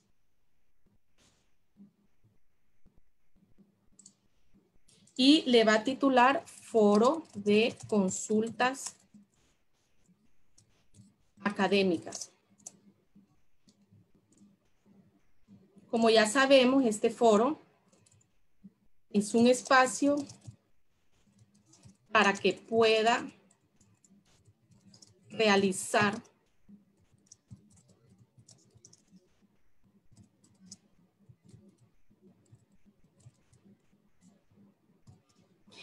Y eh, bueno, aquí usted puede personalizar, incluir alguna frase, incluir alguna imagen, indicándoles que este sería el espacio que va a estar habilitado durante todo el curso para que realice sus consultas académicas, ¿verdad? Que es importante que se haga uso de ellos porque muchas veces hay consultas que un alumno la tiene, pero no la expresa, se la mandó a su correo. Entonces, pero aquí se puede abordar de forma general.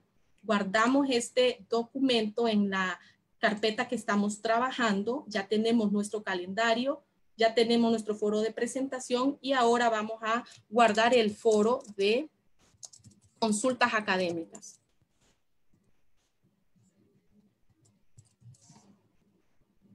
Y lo guardamos. Bien. Ahora vamos a trabajar lo que es el foro de cafetería muchos, este, ¿verdad? No trabajan este, este, este foro. Tal vez el profesor no está obligado a hacerlo, pero usted tiene que redactarlo y tiene que compartirlo en, en su aula, ¿verdad?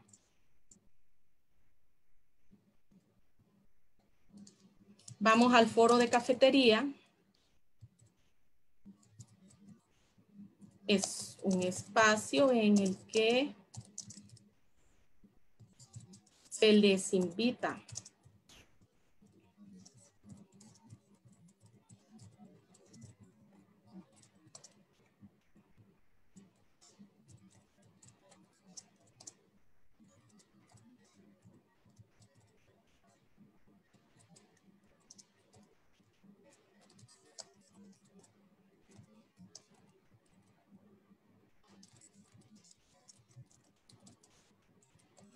Aquí usted le va a indicar que es un espacio para, para que ellos puedan pues un poco salirse del tema académico, pueden conocerse, intercambiar opiniones, relajarse un poco, pero siempre tomando en cuenta que no van a utilizar una, un lenguaje o, o, no van a escribir o van a compartir cosas de forma inadecuada. Nos vamos a guardarlo a nuestra carpeta y este sería el foro de consultas académicas, perdón, de cafetería.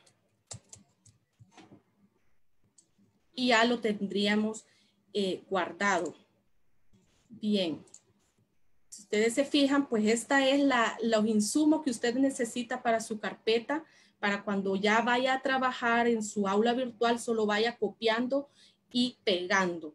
Luego, pues tendría el desarrollo de la unidad, un desarrollo de una unidad, pues otra vez agregar un documento de Word y trabajarla o de repente pues ya tiene avanzado esto el desarrollo de un tema, la introducción al tema y algunos recursos eh, que van a, trabajarse, ¿verdad? Entonces eso lo puede tener lo que es en, en su carpeta organizado, todos estos insumos ya listos para poder utilizar.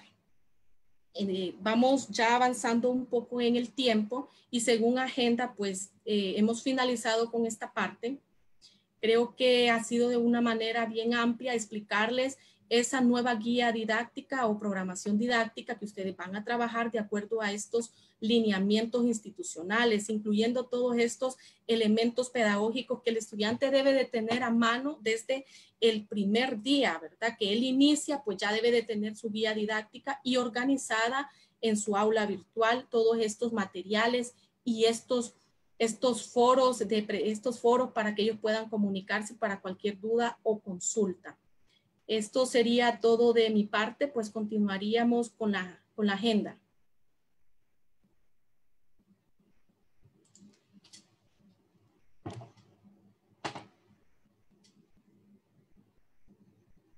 Bien, muchas gracias, maestra Yanitza, por su participación. Continuando con la agenda, tenemos al profesor. No sé si me escuchan bien. ¿Si me confirma? Luis o Yanitza, si me confirman si se escucha bien. Sí. Hola, Terlin, sí. Sí. Bien. Continuando con la agenda que se había preparado para el día de hoy, tenemos la participación de un profesor que ya ha elaborado, un profesor de la UNA, que ya tiene experiencia docente y que él ya ha elaborado su planificación didáctica en este nuevo formato. Entonces, damos la participación al profesor. Eh, si me ayuda Luis, es el profesor, el licenciado René Amador. Y si me confirma, si puede activar su audio. Sí, profesor. buenos días, se le escucho. Ay, bien, entonces muchas gracias por su participación. Él va a compartir con ustedes el formato que se les acaba de explicar, ya elaborado por él. Es un profesor de la UNA, reitero, y de antemano muchas gracias por su participación. Bueno, muchas gracias, Terly, por la, por la invitación, a Luis también. Eh, yo estuve, ingresé desde antes para un poco ver cuál es la temática.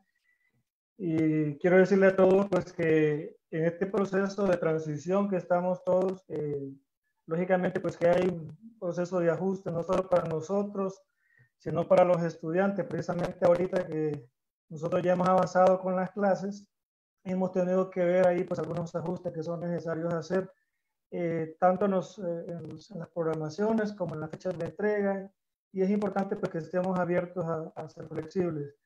Eh, eh, quiero, antes de compartir en pantalla, les quiero comenzar, les quiero comentar que nosotros eh, también estuvimos en las capacitaciones eh, de la nueva programación didáctica, tuvimos varios momentos también de uso de la plataforma virtual para lo que es la creación del aula virtual. Y también, pues, así como le explicaba la máster Yanitza, pues seguimos ese proceso de crear las carpetas.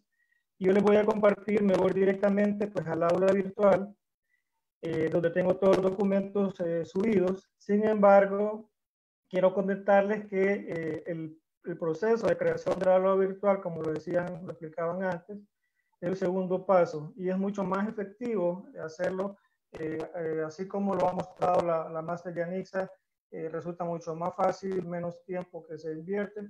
Y bueno, pues entonces, una de las primeras cosas, voy a, voy a compartir la pantalla. Un segundito.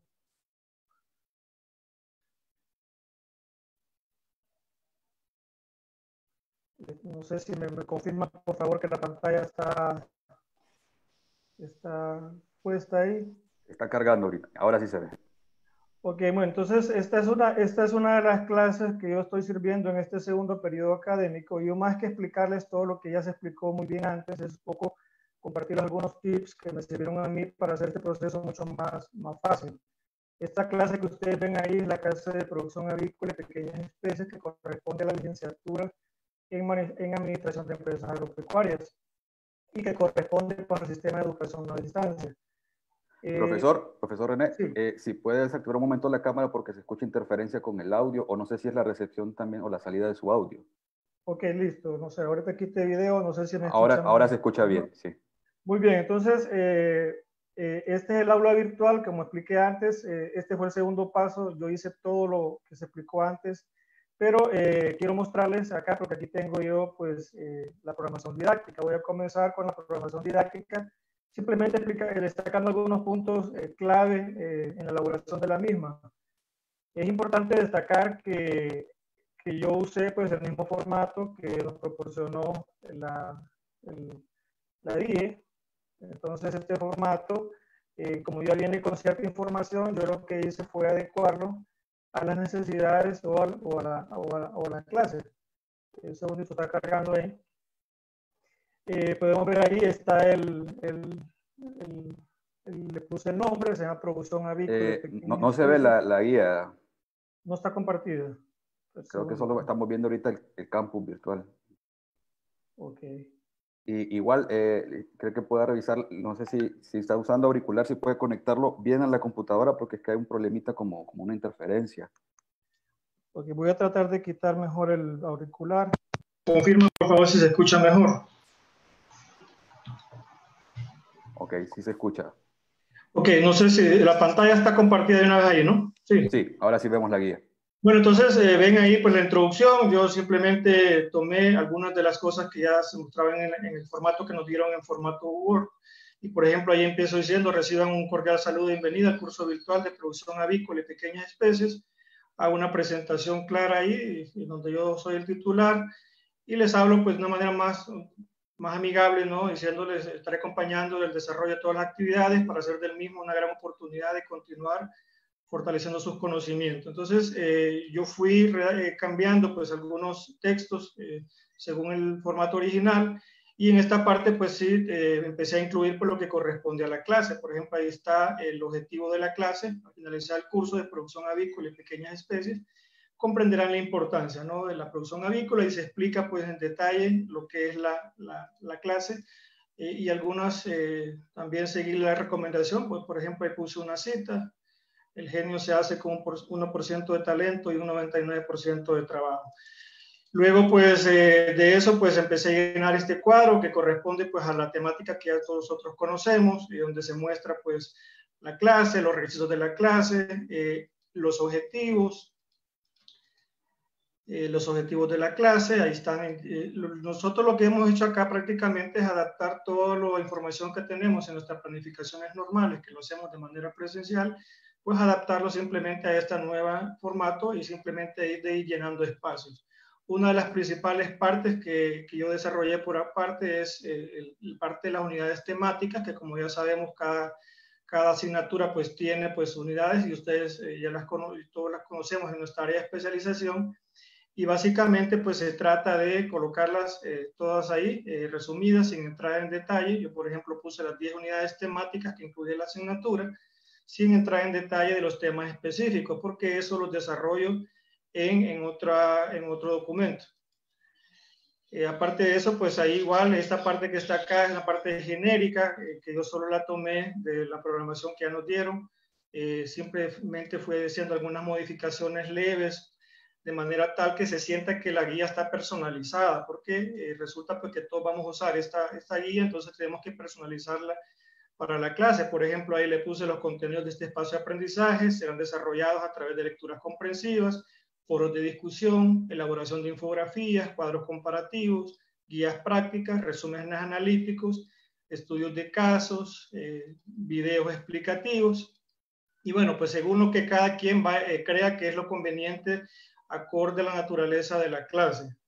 Y seguimos igual, ahí está la asesoría, yo simplemente agregué mis datos personales, donde les doy, por ejemplo, mi, mi correo, mi teléfono, el horario de consulta, si quieren hacer un Skype, en mi caso, un Zoom, o a través del campo virtual. Y aquí una parte importante es porque como estamos trabajando ahora 100% en línea, a veces algunos estudiantes pueden sentir que nosotros no le estamos dando la atención y nos, nos sugirieron pues, que colocáramos, por ejemplo, si ellos creen que el maestro no les resuelve, pues poner al coordinador de la carrera ahí el correo y que ellos tengan acceso a poder pues, hacer cualquier eh, reporte del maestro si eso no, si, si, fuera el caso, ¿no?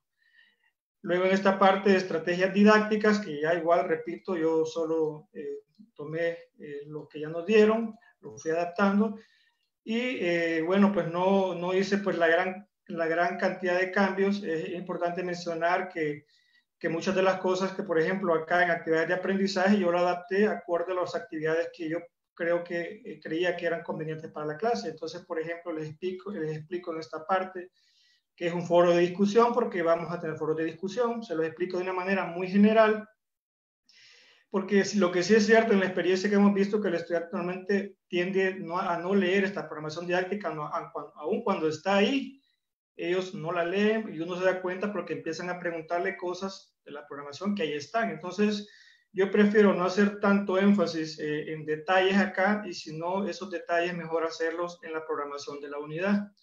Entonces, por ejemplo, ahí les explico qué es un resumen analítico, les doy una definición, les explico qué es, por ejemplo, una infografía en forma general, porque todas esas actividades vamos a hacerlas, entonces les explico, por ejemplo, que cada actividad le voy explicando para que ellos eh, comprendan de qué trata cada caso. También igual no son, son cosas que ellos ya las saben, pero es importante que las coloquemos para dejar plasmadas, pues, como parte de la, por ejemplo, yo acostumbro a hacer video exposiciones, ellos hacen videos expositivos que los envían, los preparan en online y los suben a la plataforma. Hay un proyecto de investigación en qué va a consistir ese proyecto y así cada uno, también por ejemplo los cuestionarios que vamos a tener, que son eh, las pruebas online que hacemos, o sea, los exámenes parciales, les explico que van a ser pues eh, eh, en el campo virtual.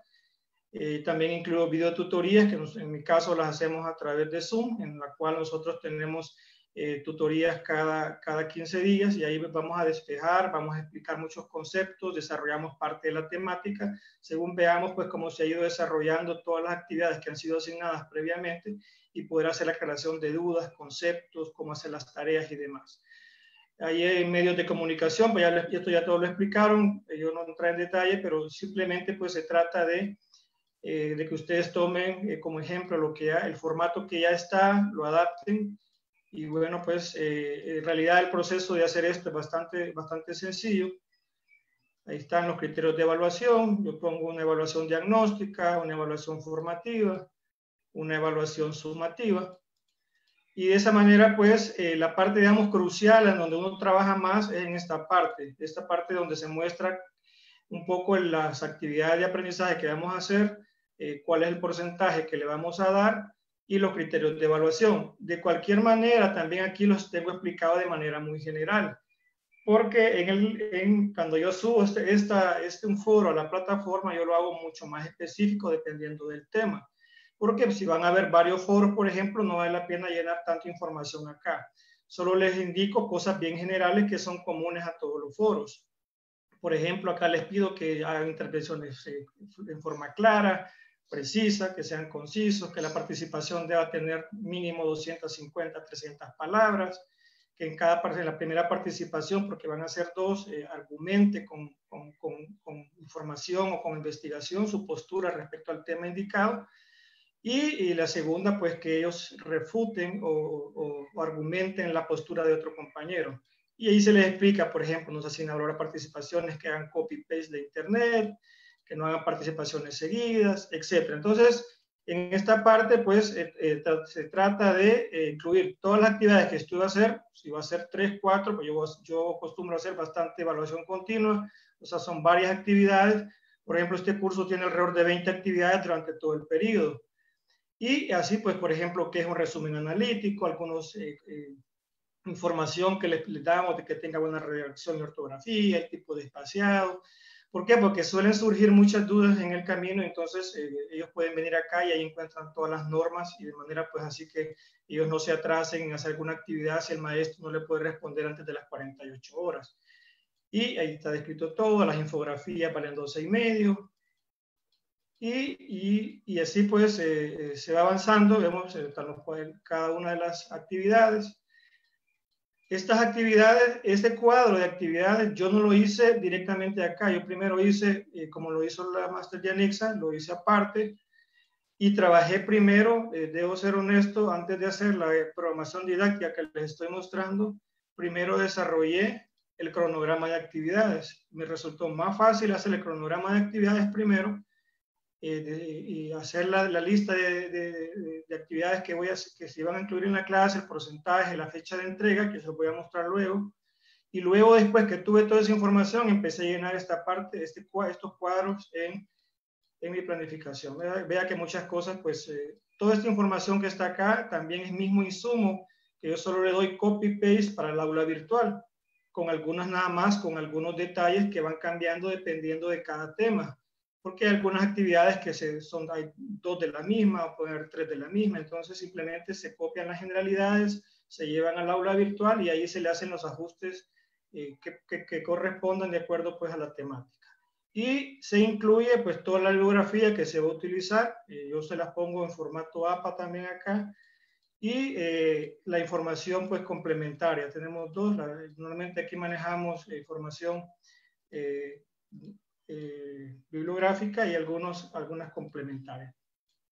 Entonces, en síntesis, lo que les quiero comentar acá, pues nosotros ya con base en la, en la información que tenemos en las planificaciones presenciales, entonces lo que hacemos simplemente es hacer un ajuste a esta programación que yo la veo bastante amigable, eh, tiene mucha información ya que es fácil luego poderla eh, adaptar de acuerdo a la naturaleza de nuestra clase. Y una de las partes pues, que yo considero que, que lleva más tiempo es, eh, no sé si me confirman si, si sigue viendo la pantalla de, Ahora no vemos la pantalla. Ahorita voy a abrir la pantalla, del, voy a regresar al, al aula virtual.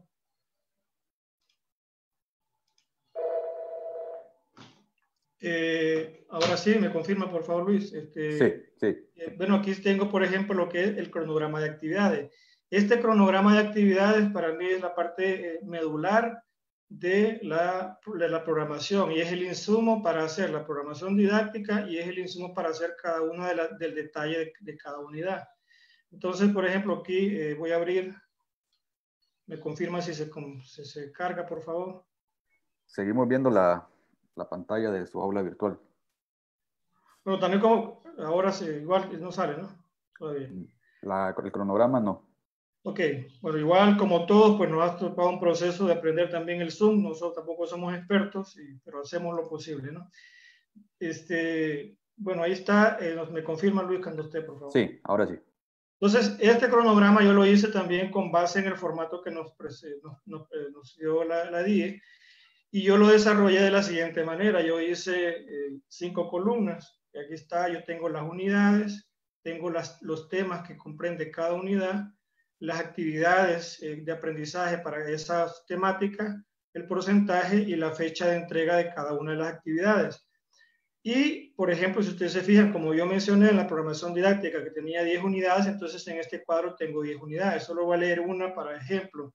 Por ejemplo, la primera unidad, que es una unidad introductoria que se llama Introducción a la Producción Avícola. Entonces, esta unidad, como yo ya tengo esto hecho desde las clases presenciales, simplemente pues estoy adaptando esto algunas, prácticamente las actividades que ellos van a hacer, porque normalmente no estamos todo el tiempo dando clases o conferencias magistrales, ¿no? Entonces, por ejemplo, el tema 1, que habla sobre una breve reseña histórica de la avicultura, entonces, como es introductorio, entonces yo les pido que en forma individual van a hacer un resumen analítico sobre el desarrollo de la avicultura en Honduras y el mundo, y les pongo la fecha que van a entregar.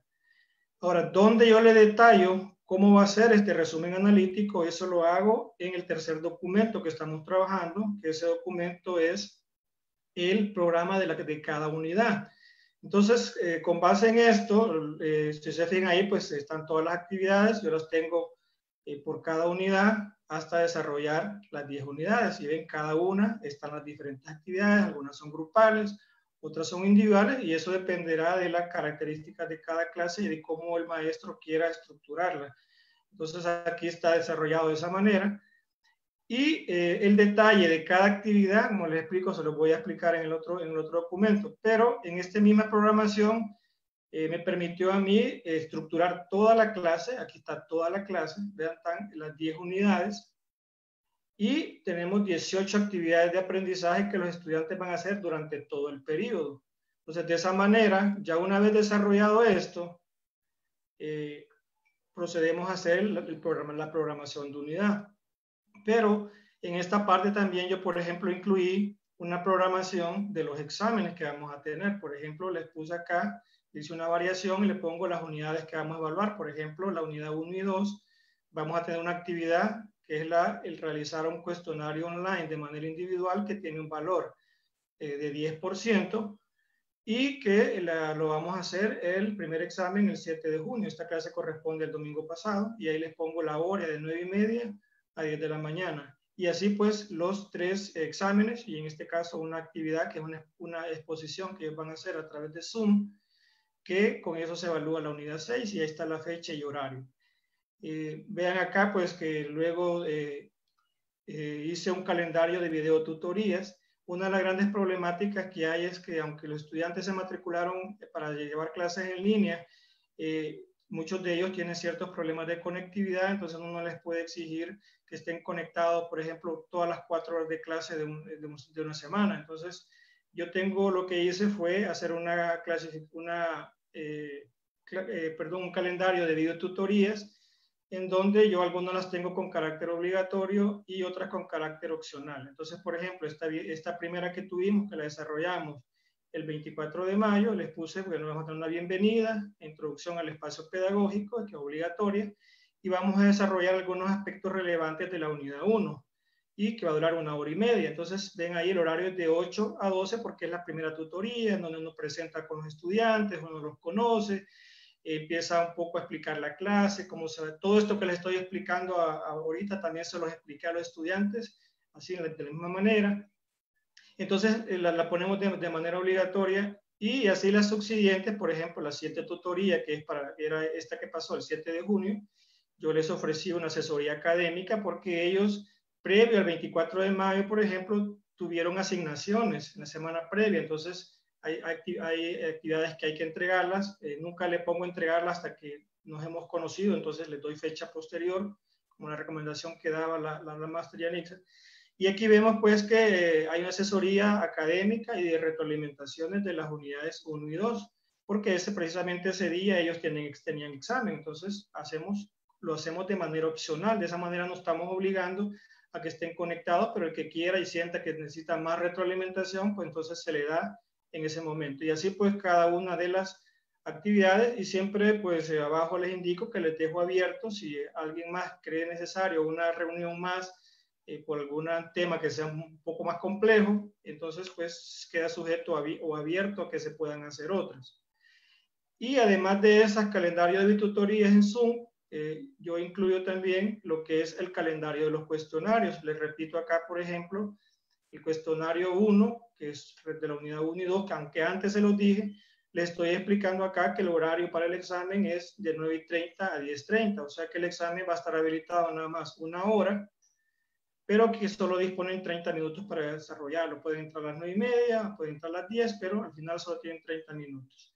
Y todo esto, pues, eh, eh, es lo que incluye el cronograma. Entonces, en síntesis, este cronograma lo que nos permite es visualizar, contextualizar todo el periodo académico ya bien organizado y la, la, parte de, la parte donde nosotros tenemos que ser más creativos es en el tipo de actividades que pueden hacer. Hay un montón de actividades, por ejemplo, este que, que tengo acá, actividad número 3, que dice videoexposición sobre la anatomía y fisiología de la gallina, en donde los estudiantes hacían un PowerPoint y lo, lo grababan como video con audio. Eh, la retroalimentación fue muy positiva, a ellos les gustó mucho porque investigaron, resumieron, hicieron un video, una nueva experiencia, aprendieron a hacer videos y eh, los videos, una vez se evaluaron, fueron de muy buena calidad, a pesar de ser la primera vez que en mi caso yo lo hacía. Tengo los foros de discusión y así por las diferentes actividades que ya eso es dependiendo pues de cómo cada eh, profesor lo quiera hacer y, buscando de toda manera que el aprendizaje sea significativo, porque recordemos que muchas de las cosas que a veces las explicamos de manera presencial, ahora ellos tienen que ser a través de un aprendizaje autónomo. Entonces, cada una de estas unidades que ustedes ven aquí, entonces eh, el siguiente paso fue entonces poder hacer lo que es la programación de cada unidad. Entonces, en mi caso particular, cada unidad, la que ustedes ven ahí, yo lo que hice fue hacer una por unidad. Entonces, eh, al final voy a tener 10 documentos y cada uno de esos documentos, que se los voy a mostrar ahora,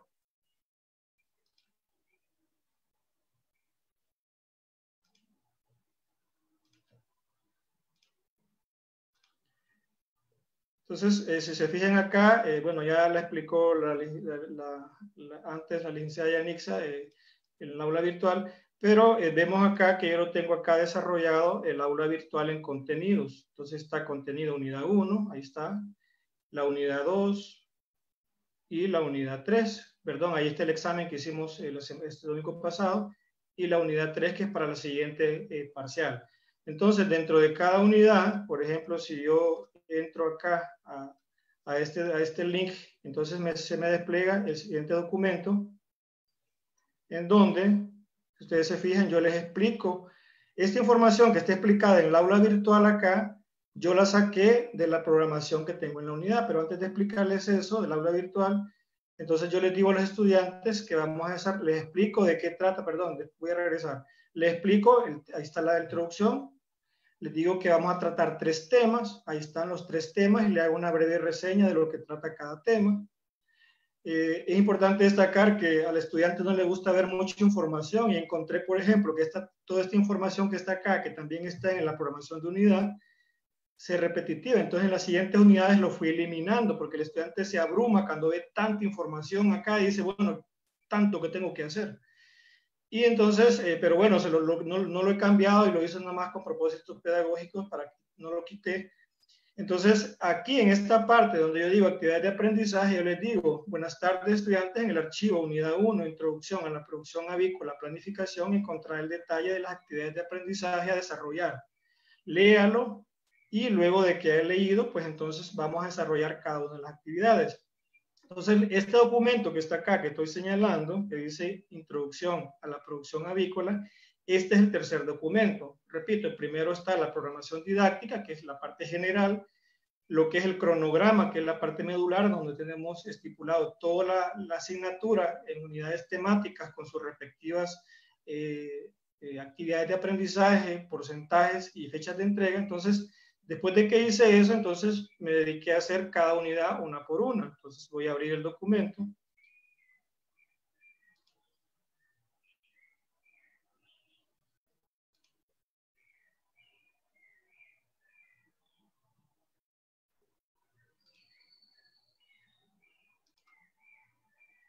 Permítanse los comparto. Entonces, esta unidad eh, se desprende del cronograma que hice antes. Yo le, igual usé el mismo formato que me dio la DIE, no me quise complicar y me parece muy apropiado. Y ahí dice producción arriba producción avícola y pequeñas especies, ahí está el nombre del docente. Entonces estamos con la unidad 1, que, que ya venimos viendo antes. Entonces hago una corta introducción. Entonces le vemos, hola estimados alumnos y alumnas, estamos listos para iniciar con la primera unidad del espacio de aprendizaje estaremos conociendo, entonces usted, ahí explico el tema, que, de que eh, un detalle de lo que incluye la unidad, le pongo los objetivos de esa unidad, que esos ya los tenemos también, entonces simplemente los copiamos ahí, y ahí le explico cuáles son los objetivos que perseguimos con esta unidad. Ahí están los tres contenidos que los alé del cronograma, ahí están, tema 1, tema 2 y tema 3. Entonces, este, este, este detalle que hice en la plataforma lo debí haber hecho mejor acá, porque como les repito, cuando el estudiante de la plataforma se abruma, entonces ahora lo estoy desarrollando acá o a veces lo estoy excluyendo para no evitar, evitar tanta información. Y esta es la parte, en, cada, en, el caso de cada unidad, aquí tengo, por ejemplo, las actividades de aprendizaje, entonces les digo a los estudiantes, para el desarrollo de la presente unidad, es necesario que haga una lectura comprensiva del material bibliográfico, específicamente los apartados o capítulos correspondientes a los contenidos arriba descritos. En adición a lo anterior, deben ver los videos provistos y consultar otro material que consideren pertinente en otras fuentes disponibles. Una vez completadas las lecturas y videos asignados en el aula virtual, deben desarrollar las siguientes actividades, que son estas mismas tres actividades que me las estoy trayendo del cronograma.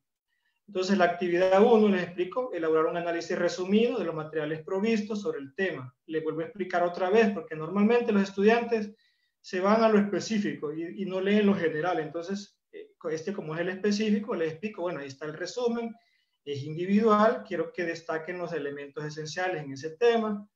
Vamos a elaborar una, infografía, les digo, la infografía les explico de nuevo de qué trata. Esto, lo, esto mismo que está acá me lo llevé a la programación didáctica, por eso es importante hacer una carpeta, como le explicaba la licenciada Nixa, donde tengamos toda esta información y ahí solo vamos copy y pegar. Ahí les doy, por ejemplo, que para esa actividad pueden usar un programa de referencia que es para hacer infografías. Ahí les doy el link. Y la actividad 3 es que voy a hacer una video exposición. Les explico que es, cómo la tienen que hacer en forma general, porque en este cuadro que sigue, aquí les explico en detalle. Y aquí sí hay que ser bien explícito, porque si no, resulta que el estudiante le va a estar preguntando todos los días y es, bien complicado. Y ha pasado. Por ejemplo, aquí está el resumen analítico. Yo les explico acá, les repito, como en la, en la general tengo varios resúmenes analíticos, aquí les digo que este en particular vale 2.5%. Y les explico que el entregable es un resumen analítico sobre el desarrollo de la avicultura en Honduras y el mundo y les doy, unas, les doy unas preguntas orientadoras. Digo que pueden decir, digan qué es avicultura, qué formas de explotación hay, alguna reseña de cómo los conceptos han evolucionado, la avicultura a nivel nacional, datos estadísticos, ¿ya? Y les explico los criterios de evaluación. Ahí a la par digo mínimo dos páginas, máximo de tres, se incluye la, portada. Y les explico cómo quiero que, que, lo hagan. Yo particularmente soy muy estricto en la parte de, de la redacción, de la ortografía, porque debemos promover también ese tipo de competencias en los estudiantes. Y les digo, bueno, que el documento lo tienen que subir en PDF y la razón de subirlos en PDF es que me facilita mucho a mí la corrección de los documentos en línea en la plataforma sin necesidad de descargarlo a mi computadora. Entonces, si me lo suben en Word, yo no lo puedo revisar, tengo que descargarlo a mi computadora. Entonces, eh, hay una herramienta en, en, la plataforma que uno lo revisa en línea, les hace comentarios y ellos pueden verlos después inmediatamente. Entonces, eh, yo les pido que el documento, les digo el nombre que lo suban, y les digo resumen analítico sobre desarrollo de la, la agricultura en Honduras. También les doy el nombre exacto, les indico que si no lo suben con el nombre no se lo voy a corregir ¿Para qué? Pero ya es una cuestión particular mía para que ellos se acostumbren pues también a, a ser ordenados, a seguir instrucciones. Y así cada una de las actividades, como ustedes pueden ver, ahí está la infografía, vale 2.5. También les doy preguntas orientadoras para que los estudiantes sepan cómo guiar el tema, porque no están con nosotros ahí. Entonces, es bueno que les digamos qué temas pueden abordar en esa infografía para ser un poco más específico y ahí les explico todos los detalles también. Entonces, vemos ahí, están las las tres actividades que tenemos para esa unidad están explicadas. Ahí les digo, por ejemplo, para la video exposición, hagan una breve descripción de los temas que están ahí, cómo deben ser las, las, las, presentaciones, eh, que sean de manera profesional. Entonces les explico todos los detalles para que a veces no salgan pues con algunas presentaciones que a veces eh, no, son, no son profesionales y desde temprano creo yo que el estudiante que, hay que someterlo a que haga las cosas bien profesionales desde un principio, porque así cuando llegan al final, pues yo ya ellos tienen las competencias bien, bien desarrolladas. Y ahí les explico igual, ¿no? Les explico, por ejemplo, que eh, una de las cosas bien importantes en lo que es las, las, clases en línea es que los estudiantes tienen a copiar mucho y hacer copy-paste de internet. Entonces yo, por ejemplo, les digo que si hacen eh, copia, les digo que tienen 50% de penalidad si encuentro que alguien ha copiado parcialmente o, o cero si lo ha copiado todo. Y si entregan tarde las tareas, 25% menos. Pero esto igual siempre hay que tener cierto grado de, flexibilidad tomando en cuenta los temas de conectividad que pueden haber, pero cuando el estudiante avisa, pues uno pues tiende a ser eh, flexible. Entonces, les pongo acá también cuáles son todos los recursos didácticos. Ahí les pongo, por ejemplo, que, qué videos están disponibles para que los vean. Ahí les pongo el link. Y le pongo la bibliografía particular para esta unidad que pueden utilizar para desarrollar la temática, para las lecturas comprensivas que van a hacer y para las tres actividades de aprendizaje. Y entonces yo les doy, en este caso específicamente, me agarro toda la bibliografía que tengo, que he hecho en el, en el documento de toda la clase y le voy copiando nada más en donde ellos pueden encontrar la eh, información. Recordemos que tenemos que ser muy bien específicos, dar todas las instrucciones. Aquí, por ejemplo, les digo que hay algunos artículos digitales en la web que pueden visitar, les doy los, los URL para que ellos... Y toda esta información que toda esta información está también disponible en el aula virtual. Pero muchas veces los estudiantes no tienen la accesibilidad para estar en, eh, ni, la, el dinero para estar comprando datos para entrar al aula virtual. Entonces les sugiero que la, una primera vez que entren bajan todos estos documentos y los tienen pues ya en sus dispositivos móviles o en sus computadoras. Y ya para ellos pues ya saben de que si estamos en la unidad 1, pues entonces se van a este documento y en este documento van a encontrar todos los detalles relacionados a esta, a esta unidad. Entonces, cada unidad tiene un, un documento de estos mismos. Eh, voy a regresar ahora al aula virtual. Y vemos pues acá, eh, entonces me confirman si se ve todavía. Sí, la vemos, el aula virtual. Entonces, ven, en, en, en el que hice entonces, después de que hice todo eso, entonces todos los tres documentos yo me vine a hacer copy-paste al aula virtual y resultó un trabajo que lo hice en menos de una hora. por, en el aula virtual. ¿Por qué? Porque ya tenía todo desarrollado. Entonces vean acá, dice, aquí está, introducción a la, a la producción avícola. Esta información que ustedes ven ahí, esa información yo la saqué del, del documento anterior. Ahí está el detalle. Y aquí les explico la actividad aprendizaje. Aquí está en el documento que acabamos de ver. ¿Cómo? Es los tres.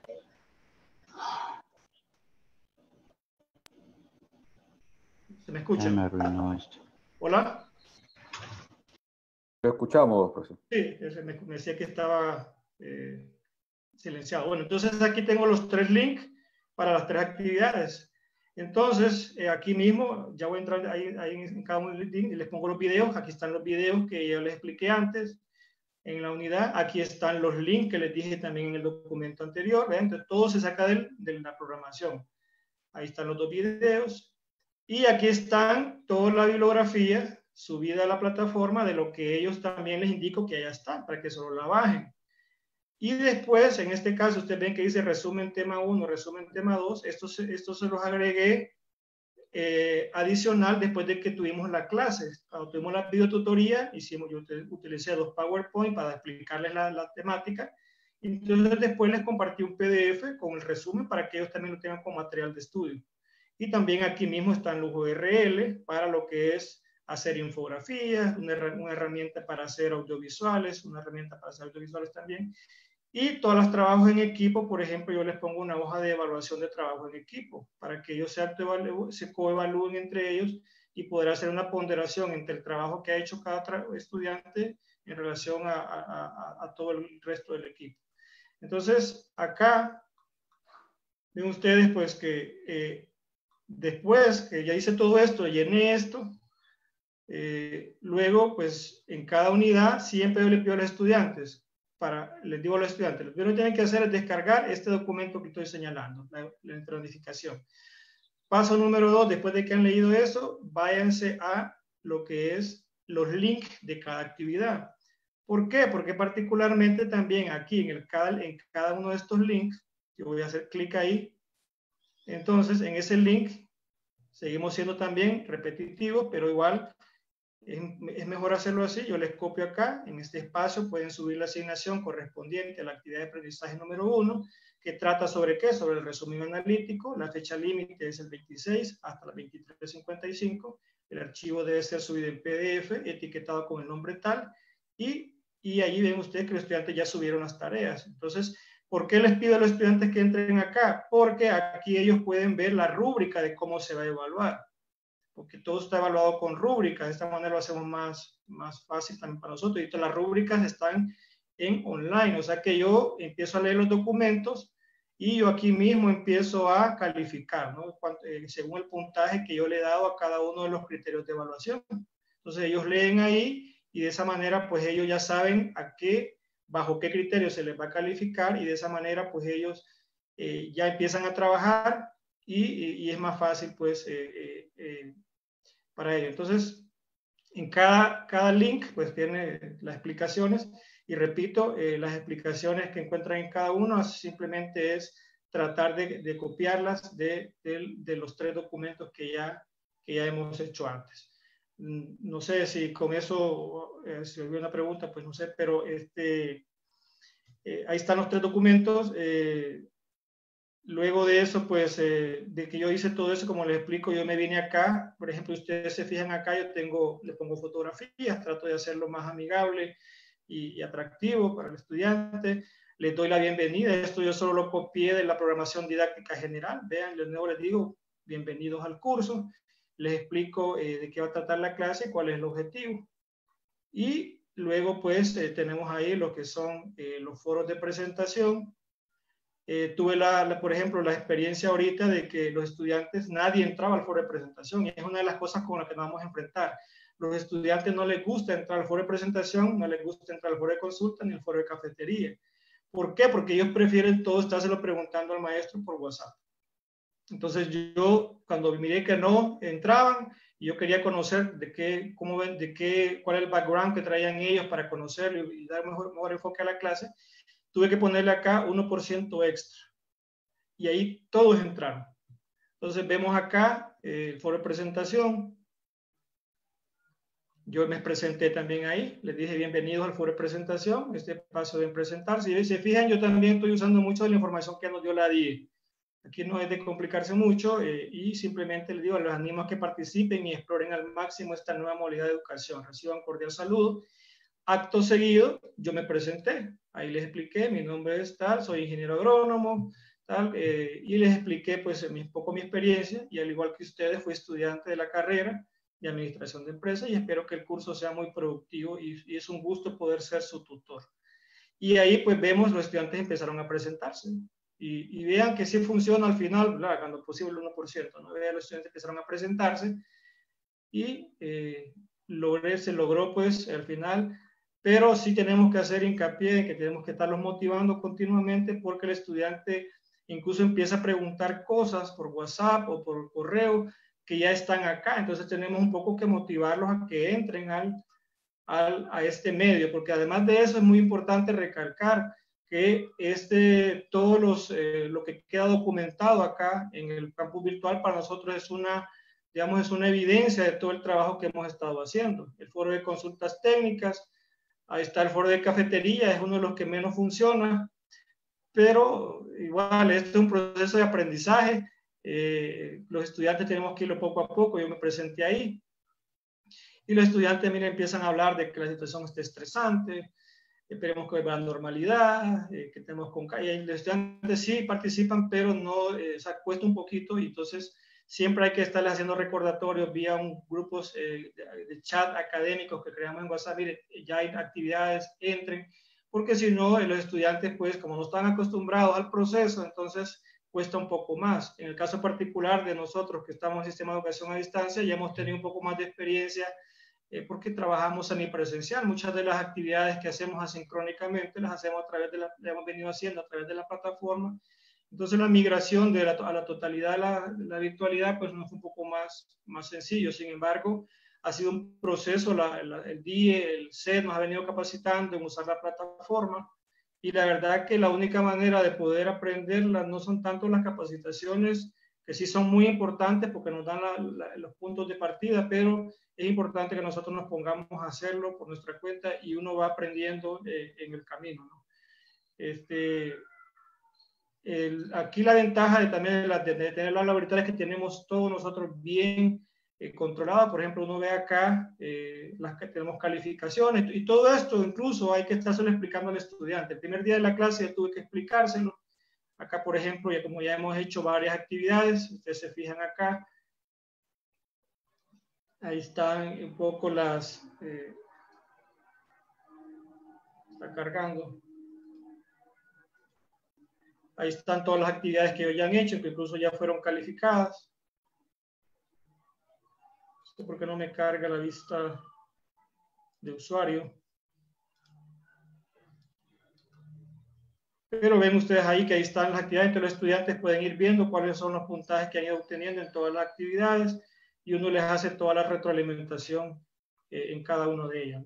Este, quisiera, no me, no me pone el formato por alguna razón. Entonces, al final, pues nosotros llevamos acá eh, todo el control de las actividades, los exámenes, y al final, pues cuando querramos nosotros solo eh, ver, ver los estudiantes también lo pueden hacer, pueden ver de qué manera ellos han ido avanzando en las clases, ven los acumulativos, eh, que llevan y de esa manera pueden ver, ir viendo el progreso, eh, el progreso que van teniendo en la, en la clase.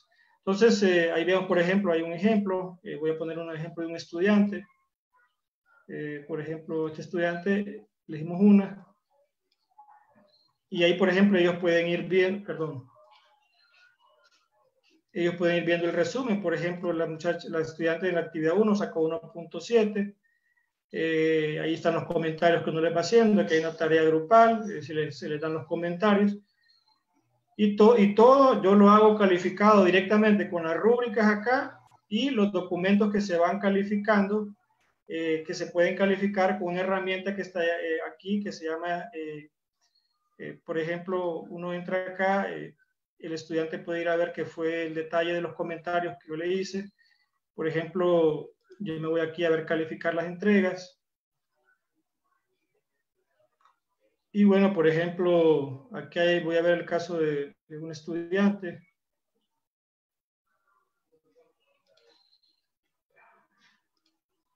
Está un poco, aquí está, vamos a agarrar este estudiante que vimos antes también.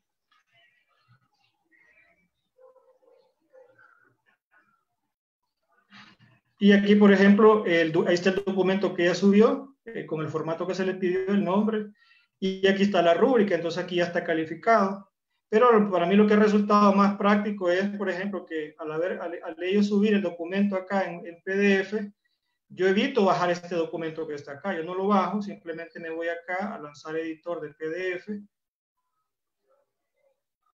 Entonces me va a cargar el documento en línea. Yo no tengo que eh, bajarlo a mi computadora.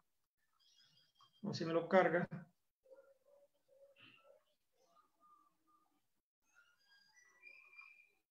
Sí, pero no, no me lo ha cargado.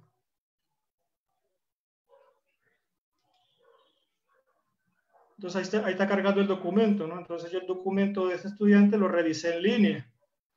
Y ahí está, entonces uno lo va, lo va viendo acá, le va avanzando las páginas y no le pone los comentarios.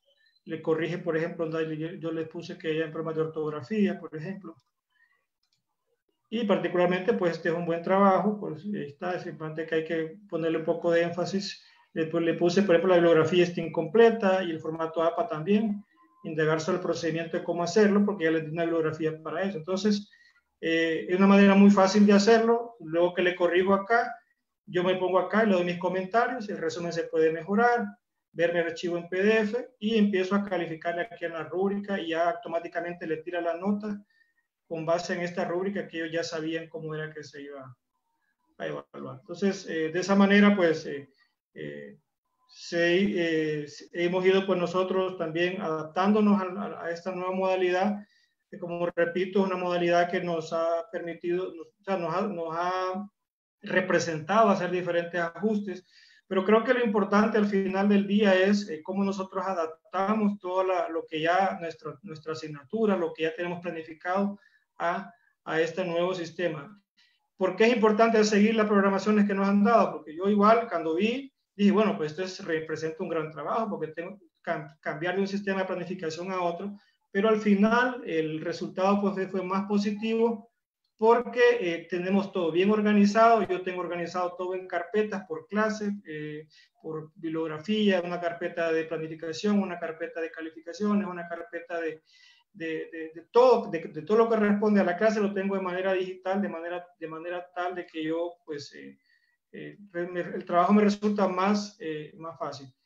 Eh, y es importante también destacar que, que, implica también para nosotros como docentes un poco más de trabajo esto, ¿no? Este, el, el, hacer las clases de manera online, muchas cosas de las que se pueden decir en la, en la presencialidad, hay que ponerlas en escrito, porque este, no podemos decirse, porque no podemos estar tampoco conectados el 100% del tiempo con estudiantes a través de una videotutoría, porque sabemos que hay muchos estudiantes que tienen ciertas limitaciones para conectarse eh, por temas económicos, por temas de cobertura. Entonces, eh, eh, también hay que ser un poco flexible y tratar nosotros de, de, de también de, sin perder la calidad el, el, el, de, lo, de, lo, que es la, la clase ni, ni, todas las actividades que ellos hacen, tener cierto grado de flexibilidad. Por ejemplo, yo tenía un estudiante que no la puedo subir porque no me carga, entonces pero me ha dicho en ese momento que la, que la, que la tiene, entonces mándemela por correo y luego la sube.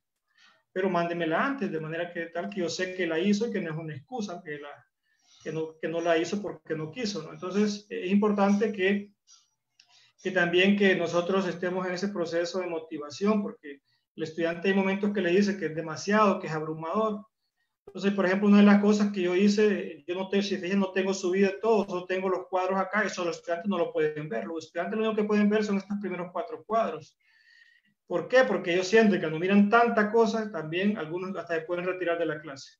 Entonces, eh, tratar de ser, eh, simplificar, eh, ser muy explícitos en lo que queremos comunicarles, de manera tal de que el estudiante tenga todo claro y siempre van a haber consultas, y de hecho la hay, para poder pues irlo guiando en este proceso que es, sabemos, un proceso de aprendizaje autónomo, es, es, constructivista y los estudiantes tienen que, que trabajar solos y, y, poco a poco ellos se van eh, acomodando. Eh, yo lo he podido ver, la primera semana eh, fue complicada, los estudiantes están como perdidos, pero ya a partir de la siguiente semana ya uno empieza a ver que empieza a fluir y, y, los estudiantes se empiezan a acostumbrar al sistema.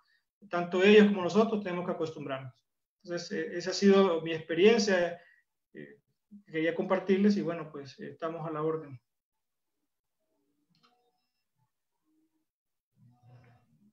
Luis. Bien, muchas gracias, ingeniero eh, René Amador, por su participación. Creo que ha sido muy provechoso que usted, como docente de la universidad, haya compartido con los profesores que nos acompañan el día de hoy su experiencia. Particularmente eh, lo están felicitando muchos de los profesores que están conectados el día de hoy. Igual el equipo de la DIE lo felicita y fue por eh, su trabajo que lo tomamos a consideración para que usted les explicara y compartiera su experiencia. Tienen una consulta que varios docentes la han realizado y es, la voy a leer. Esta pregunta va para el ingeniero y es, ¿Cuánto tiempo le llevó preparar lo que usted está explicando? Eh, lo de la guía didáctica y reiteradamente se hizo esa consulta, que si usted ya utilizaba la plataforma o el campus virtual antes de que iniciara eh, toda esta de la pandemia.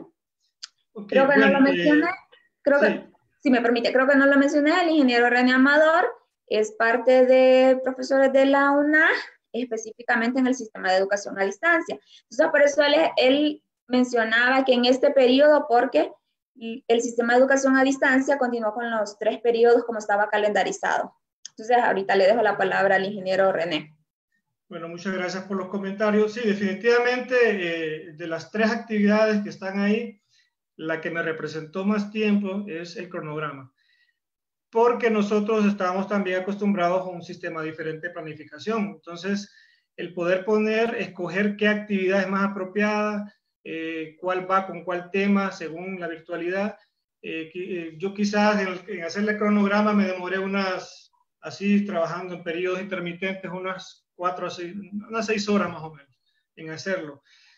Porque yo ya tenía todas mis unidades, lo que me demoró más fue identificar qué actividades que antes eran de manera presencial, tengo que hacerlas ahora en, en, la forma virtual. El hacer la programación didáctica, la general, no me demoró, después de hecho el cronograma y bien pulido el cronograma, como ustedes se lo mostré ahí, o sea, me refiero a bien pulido en el sentido bien organizado, con las fechas, eh, identificar las fechas puestas para que no se, se, crucen con otras clases que eso ya, recuerden que nosotros el sistema de distancia ellos llevan dos clases cada 15 días, entonces, y todos los estudiantes trabajan, entonces hay que buscar la manera de, de hacer las clases. Entonces, me costó más un poco el cronograma y, dentro del cronograma escoger las actividades más pertinentes. Una vez hecho el cronograma, hacer la programación didáctica no me demoró más de una hora. ¿Por qué? Porque yo solo iba agarrando este, toda la información que tenía en, en, la, en, la, en, la, en la cronograma en cuanto a la, a la calendarización, el tipo de actividades se las iba poniendo de manera general. Yo no iba entrando en detalle, agarraba copy, pegar, copy, pegar, y en eso me demoré dos horas. Ahora, cada uno de los documentos para cada unidad, lógicamente, pues que nosotros como tenemos que ponerlo en este formato y antes no lo hacíamos así, entonces, por ejemplo, yo lo que hice fue avanzar con unas cuatro unidades primero, pero igual, del cronograma a la unidad y de la, y de la, y de la programación didáctica general a la unidad copiando y pegando y simplemente haciendo los ajustes de, en cuanto a cada tema, porque cada tema es diferente, cada tema tiene una actividad diferente.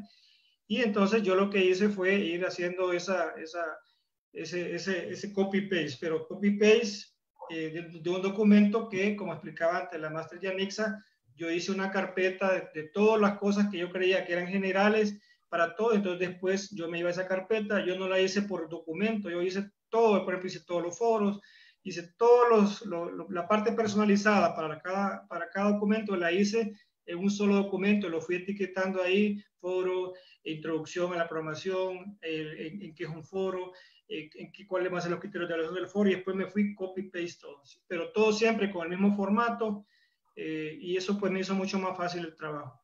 Ya ahí el hacer cada unidad, pues como la estamos adaptando, entonces incluso yo tengo ahí 10 unidades, de las cuales yo tengo listas 4, bajo ese formato, pero he ido trabajando en el camino en desarrollar las otras. Entonces yo lo que les sugiero es, hagan primero el cronograma, hagan la programación didáctica y por lo menos hagan sus primeras dos unidades temáticas o como las tengan organizadas para las primeras dos o tres semanas. Entonces ustedes en el camino vamos adaptándolas porque ya las tenemos, simplemente de adaptarlas a ese nuevo formato y bueno, pues eso eh, eh, resulta más, más, más fácil. En el, respecto a la segunda pregunta, sí, yo por ejemplo cuando entré al sistema yo no, nunca había recibido en ninguna capacitación, yo empecé simplemente porque teníamos por necesidad lo hicimos, porque en, el caso del centro regional que se me tocó dar las primeras clases, a veces están en huelga, se tomaban el edificio, entonces siempre yo empecé a usar la herramienta de a poco, eh, yo empecé a nivel básico también, lo que pasa es que en el camino uno va aprendiendo, va descubriendo nuevas cosas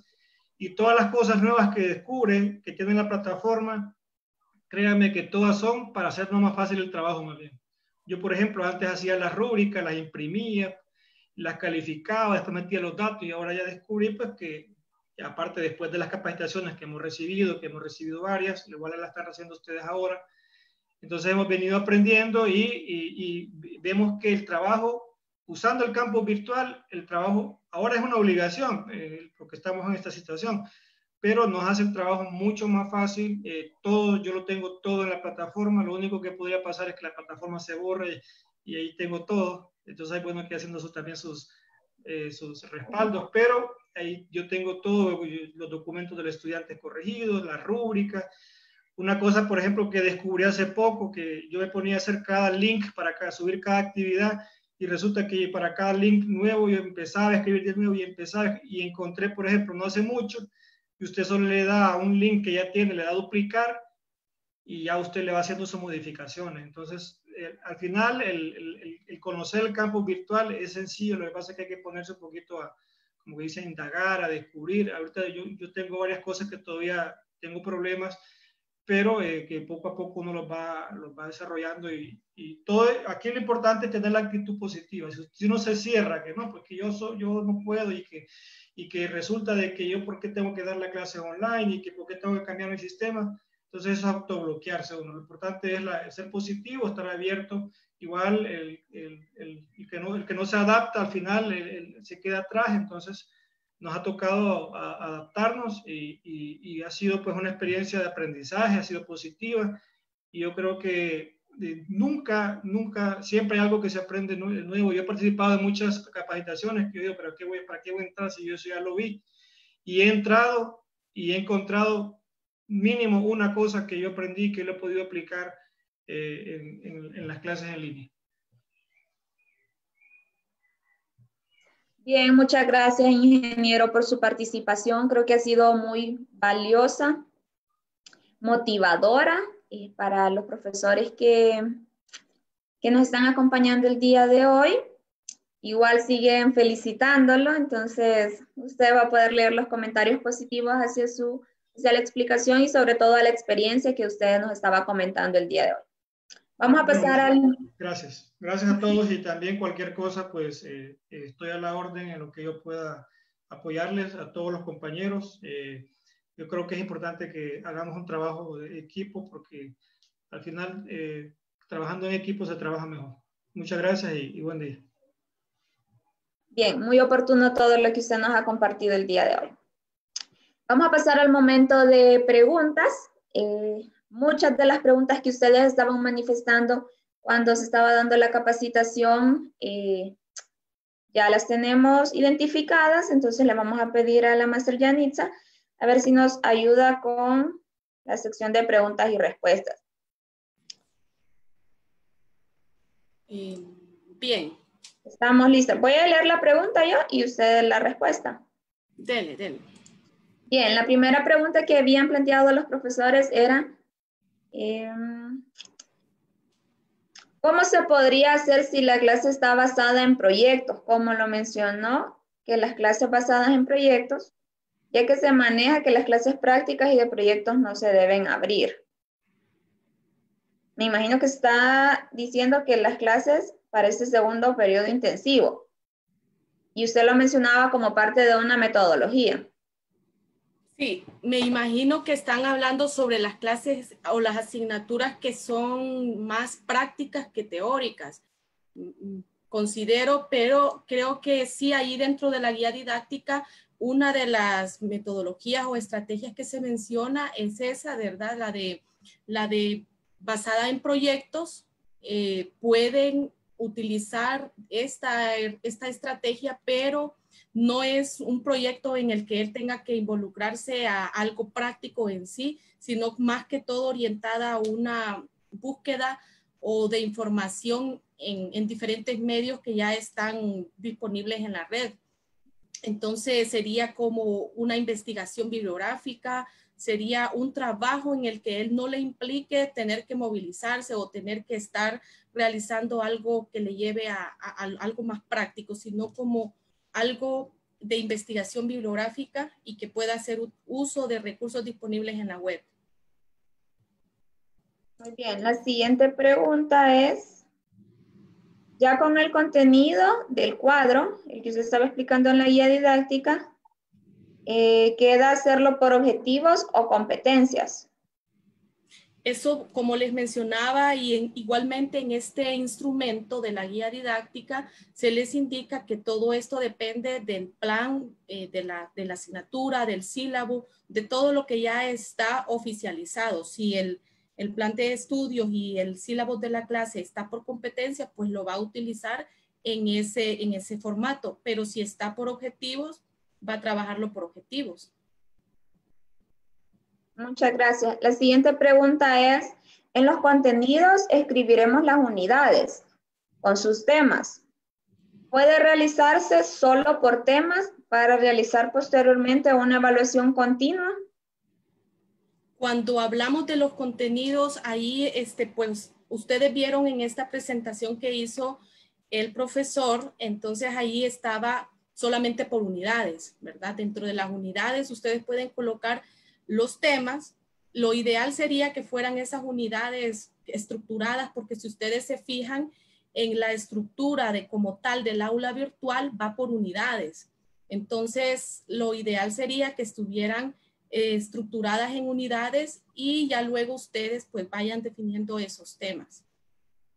Esto lo considero por pertinente porque les da la pauta de cómo van a ir trabajando su espacio de aprendizaje virtual.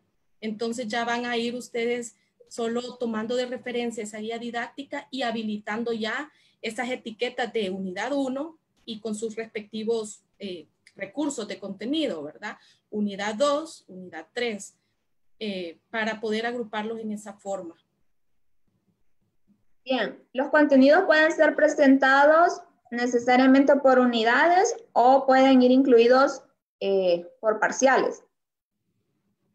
También puede, ahí es, depende cómo lo, lo trabaje, ¿verdad? Muchos profesores lo manejan por primer parcial, segundo parcial, tercer parcial y también pues está, está, está pues, usted puede utilizar esa, esa nomenclatura de su, de su clase. Las clases que ya están virtualizadas, ¿las debemos planificar de la manera que se nos está enseñando el día de hoy? Para las clases virtualizadas, pues hay una gran ventaja porque ustedes ya no van a tener que hacer todo este diseño, ya prácticamente es ir a su docencia virtual. Lo que tendrían que hacer sería actualizar ese foro de presentación, actualizar eh, ese, ese foro de académicas y el foro de cafetería es decir, ir a, crear un nuevo tema donde ustedes inician estos foros. Ya prácticamente la propuesta formativa de la asignatura está lista solo para que se pueda ya brindar y actualizar ese calendario de, actividades que ya está en esa versión para solo editar. Entonces, no tienen que hacer más nada, el, estas clases ya están listas. Bien, esta creo que sea claro, pero la voy a leer igual. Dice, me parece muy buena esta guía conceptual, pero los docentes que no han trabajado en Internet y aún los que ya tenemos experiencia, necesitamos la parte técnica de Moodle y la plataforma virtual. Y da una serie de ejemplos. Igual esta ya se les indicó que la siguiente semana se estará abordando el componente técnico. Y como lo mencionaba el ingeniero, René, es necesario primero tener los insumos las carpetas, su serie de, foros, ya las instrucciones redactadas para posteriormente subirlos a su espacio virtual. Así es. Y es, es que por, es por eso que estas capacitaciones se han, se han dividido, aunque lo pedagógico y lo técnico van de la mano, ¿verdad? Pero creo que lo primero es tener todos esos insumos, tener esa planificación didáctica para ya luego solo ir trabajando en su espacio virtual dentro del campus. Bien, ¿cuál es su recomendación en relación a la reposición o recuperación? Bueno, en, en relación a la reposición, porque así lo establecen las normas en el final del periodo si la evaluación fue continua y por tópicos. Bueno, ya en, las normas académicas se establece que la estudiante tiene derecho a reponer la, actividad que no logró realizar y la nota más baja, ¿verdad? Entonces, ahí en ese caso usted tiene que hacer ese análisis y ese seguimiento del estudiante, ¿verdad? Del aprovechamiento que él ha tenido y pues usted evalúa cuál, cuáles serían, si solamente será ese examen que va a tener derecho a reponer, porque a veces ellos quieren que se les abran todas las actividades y eso no es posible. Entonces creo que ahí va un análisis y un seguimiento por parte del asesor y guiándose con la normativa que ya establece la institución. Bien, estas guías didácticas deben ser por asignatura y laboratorio, individuales o una sola guía tiene que ser una, en una sola guía, porque la, el, el, laboratorio no es como, sí es una parte independiente, pero es, forma parte de la asignatura. Entonces, debe de ir ahí también indicado las, cómo se va a desarrollar, en qué fechas, eh, qué medios, todo eso se tiene que dejar explicado en la forma, en la metodología de la guía didáctica, porque para que ellos no vean de una forma aislada el laboratorio, sino que forma parte de la asignatura. Y en el caso que el laboratorio lo esté dando un instructor, creo que sí es necesario que quede dentro de la metodología que se va a estar abordando por un instructor de laboratorio y qué porcentaje corresponde al, al 100%. Normalmente es 80-20, cada, cada unidad lo, creo que ya lo tiene definido, pero sí es necesario que se indique. Así es. Y, y es, es, importante que se deje ahí en la guía didáctica, ¿verdad? Para que pues no se vea esa como división entre el laboratorio y la asignatura, independientemente de que sea otro instructor el que lo va a impartir.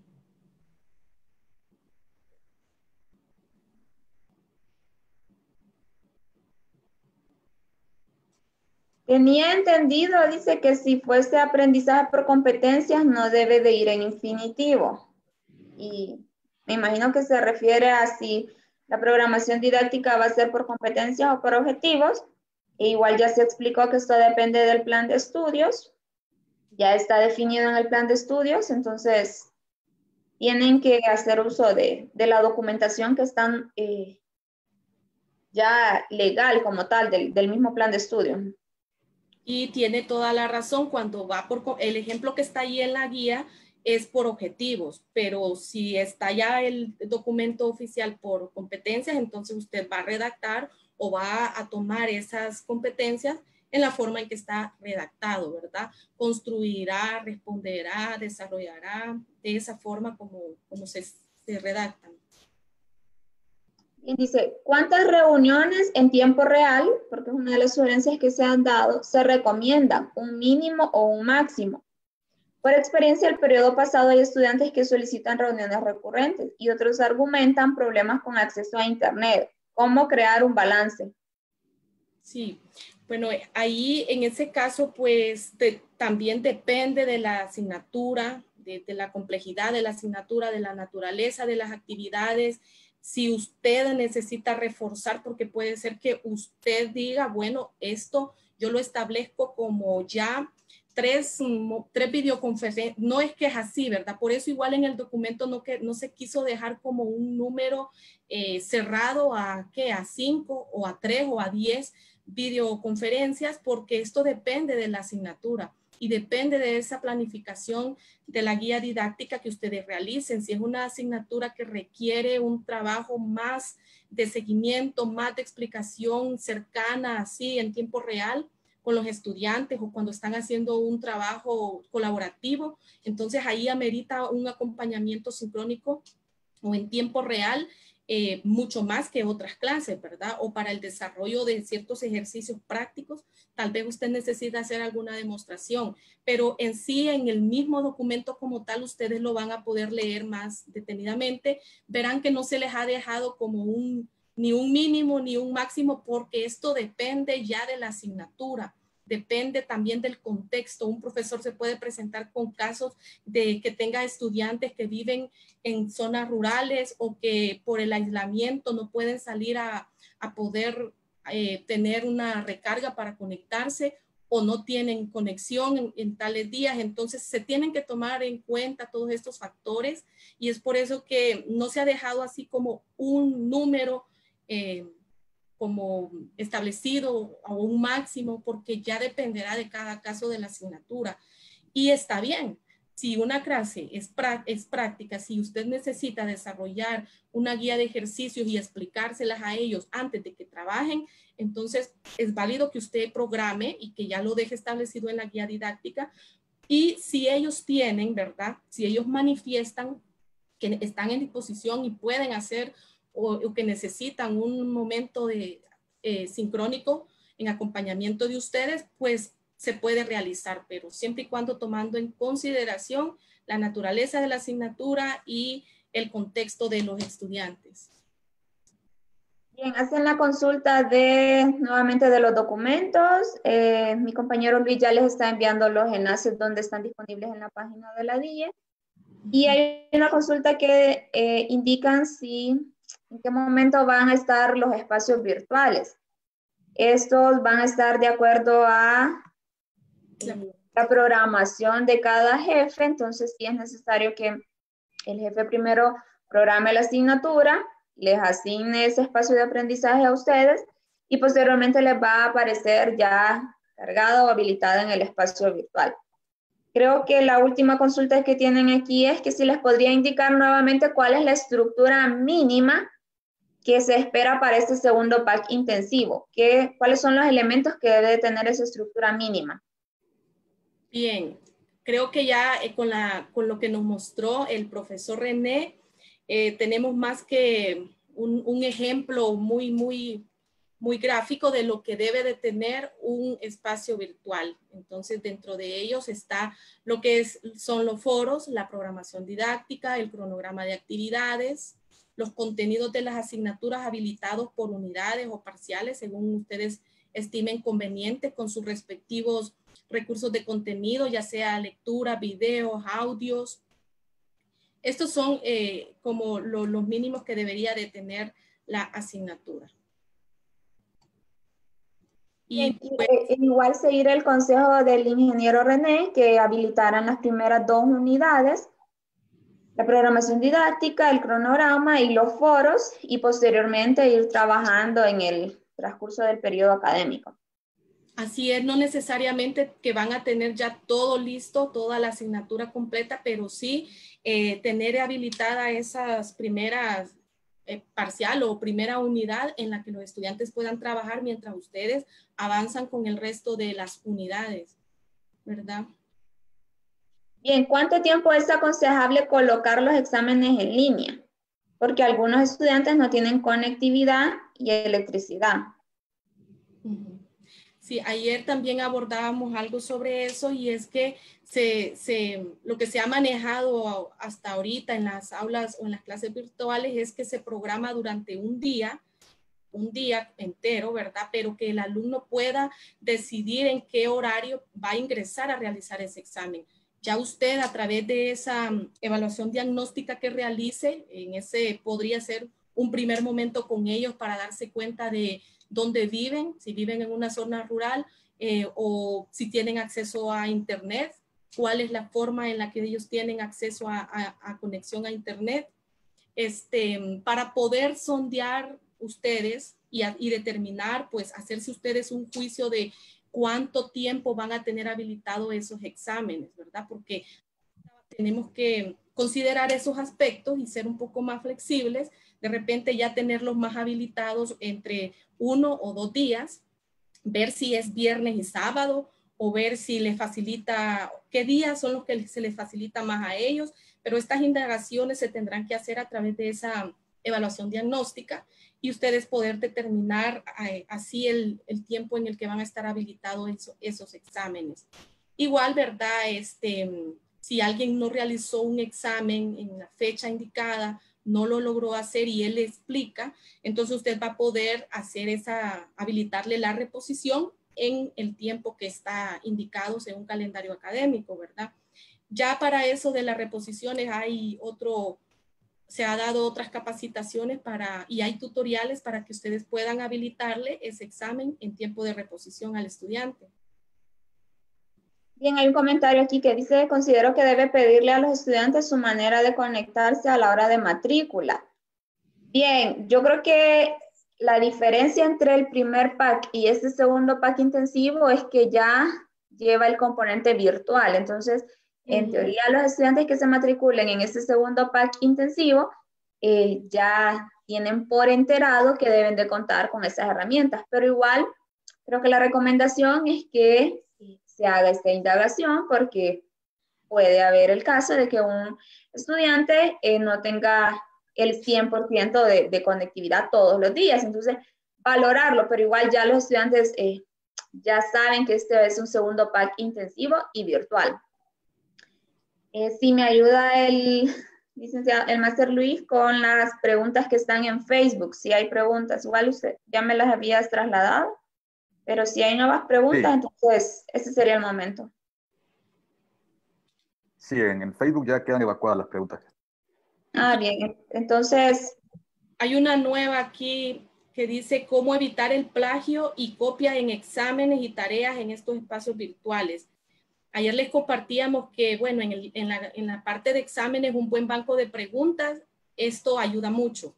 ¿verdad? Y el tiempo que tiempo límite en el que usted configura el desarrollo de este examen, limitarlo a una hora o dos horas dependiendo de la naturaleza y complicación del examen, ¿verdad? Igual en, las tareas, eh, lo que podemos hacer es analizar la información que mandan en, las tareas, en resúmenes, en ensayos, en investigaciones, copiar un párrafo en el que usted eh, pues considera que, se ha copiado lo copia en plagium.com y ahí le va a determinar algún porcentaje de donde y los sitios de donde ha sido tomada esta información.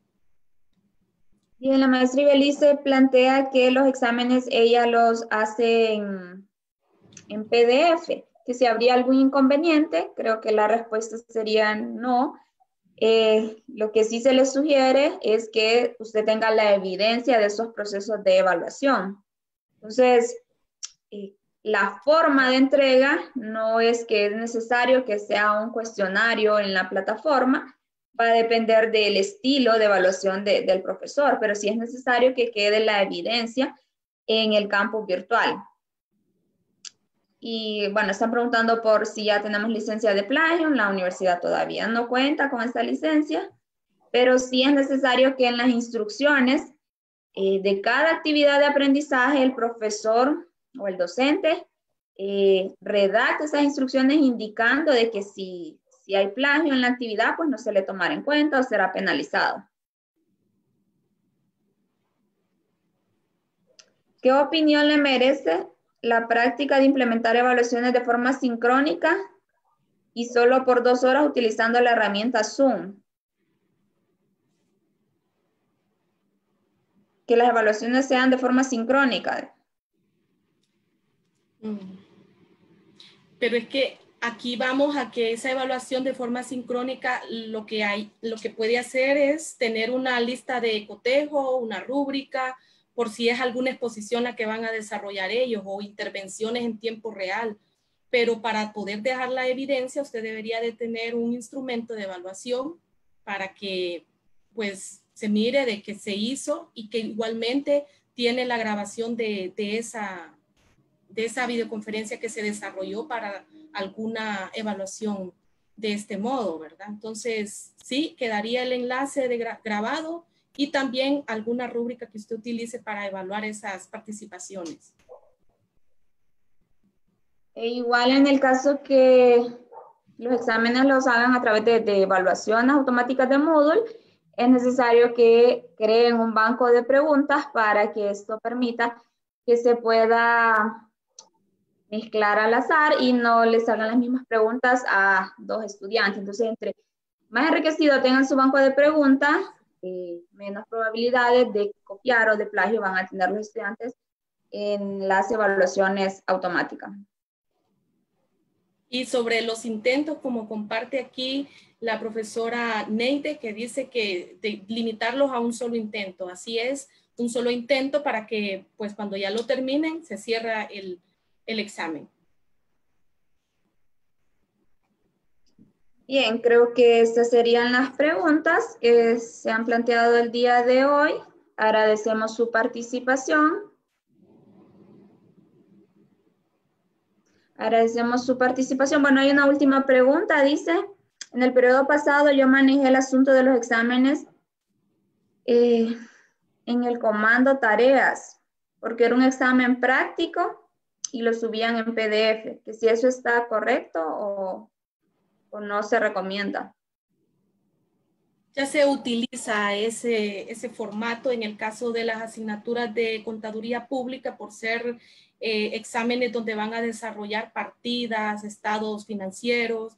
Ellos entonces lo que hacen es que mandan un examen así en PDF con el desarrollo de los ejercicios, lo que se les solicita. Ellos tienen que hacer ese desarrollo, ¿verdad? Práctico, y luego lo suben como que fuera una tarea, pero realmente es un examen, ¿verdad? Que, que tienen que dejar evidenciado un procedimiento y por eso lo colocan como un subir archivo o tarea, como usted lo menciona. Bien, hacen una consulta y es relacionado con la semana de capacitación, porque la circular hacía énfasis de que del 8 al 12 se iba a desarrollar la capacitación pedagógica de la adecuación didáctica. El día de hoy se está abordando un grupo, en la tarde se va a abordar otro grupo y mañana dos grupos. Entonces, eh, básicamente esta es la sesión sincrónica en la que se les está abordando los elementos que debe de contemplar esa adecuación de la programación didáctica y mañana no, no se tienen que conectar. Para ellos sí se ha establecido que el día viernes, en el caso que ustedes tengan consultas, va a haber una sala de consultas para que ustedes puedan plantear esas, esas consultas. Entonces, los formatos ya están en la página de la DIE, ustedes los pueden descargar, comenzar a trabajar y cuando tengan consultas las pueden plantear el día viernes. Entonces mañana no es necesario, no se tienen que conectar porque mañana vamos a estar con otro grupo abordando la misma capacitación o los mismos contenidos. Sí. Solo agregar, bueno, están mencionando mucho el tema de evaluación. Miren, no eh, ustedes ya con el segundo periodo, la DIE va a proporcionar una capacitación más adelante relacionado al tema de evaluación en línea. Entonces, consultas también podrán ser abordadas. De igual forma, la compañera Terling acaba de mencionar que el día viernes, desde el horario de 8 de la mañana a 4 de la tarde, estará disponible a través de un enlace de Zoom que se va a socializar también así como le llegó este a su correo para que ustedes puedan conectarse a hacer cualquier tipo de consulta técnica o de carácter pedagógico. Ahí va a estar el equipo de la DIA acompañando en esa jornada.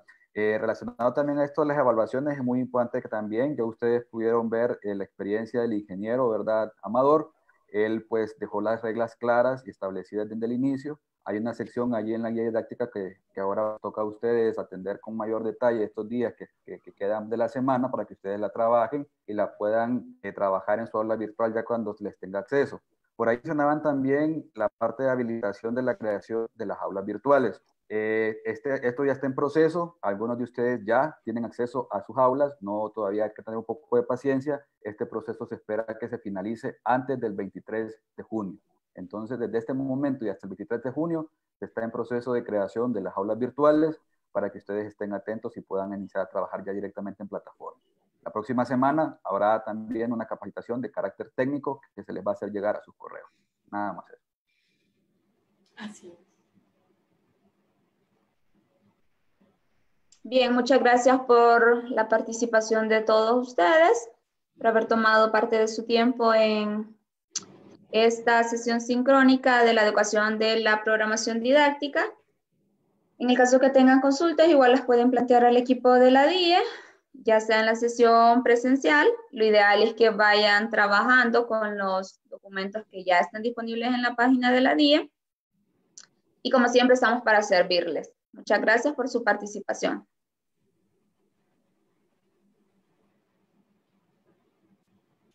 Muchas gracias a todos igualmente. Feliz tarde. A todos, buenas tardes, un provecho.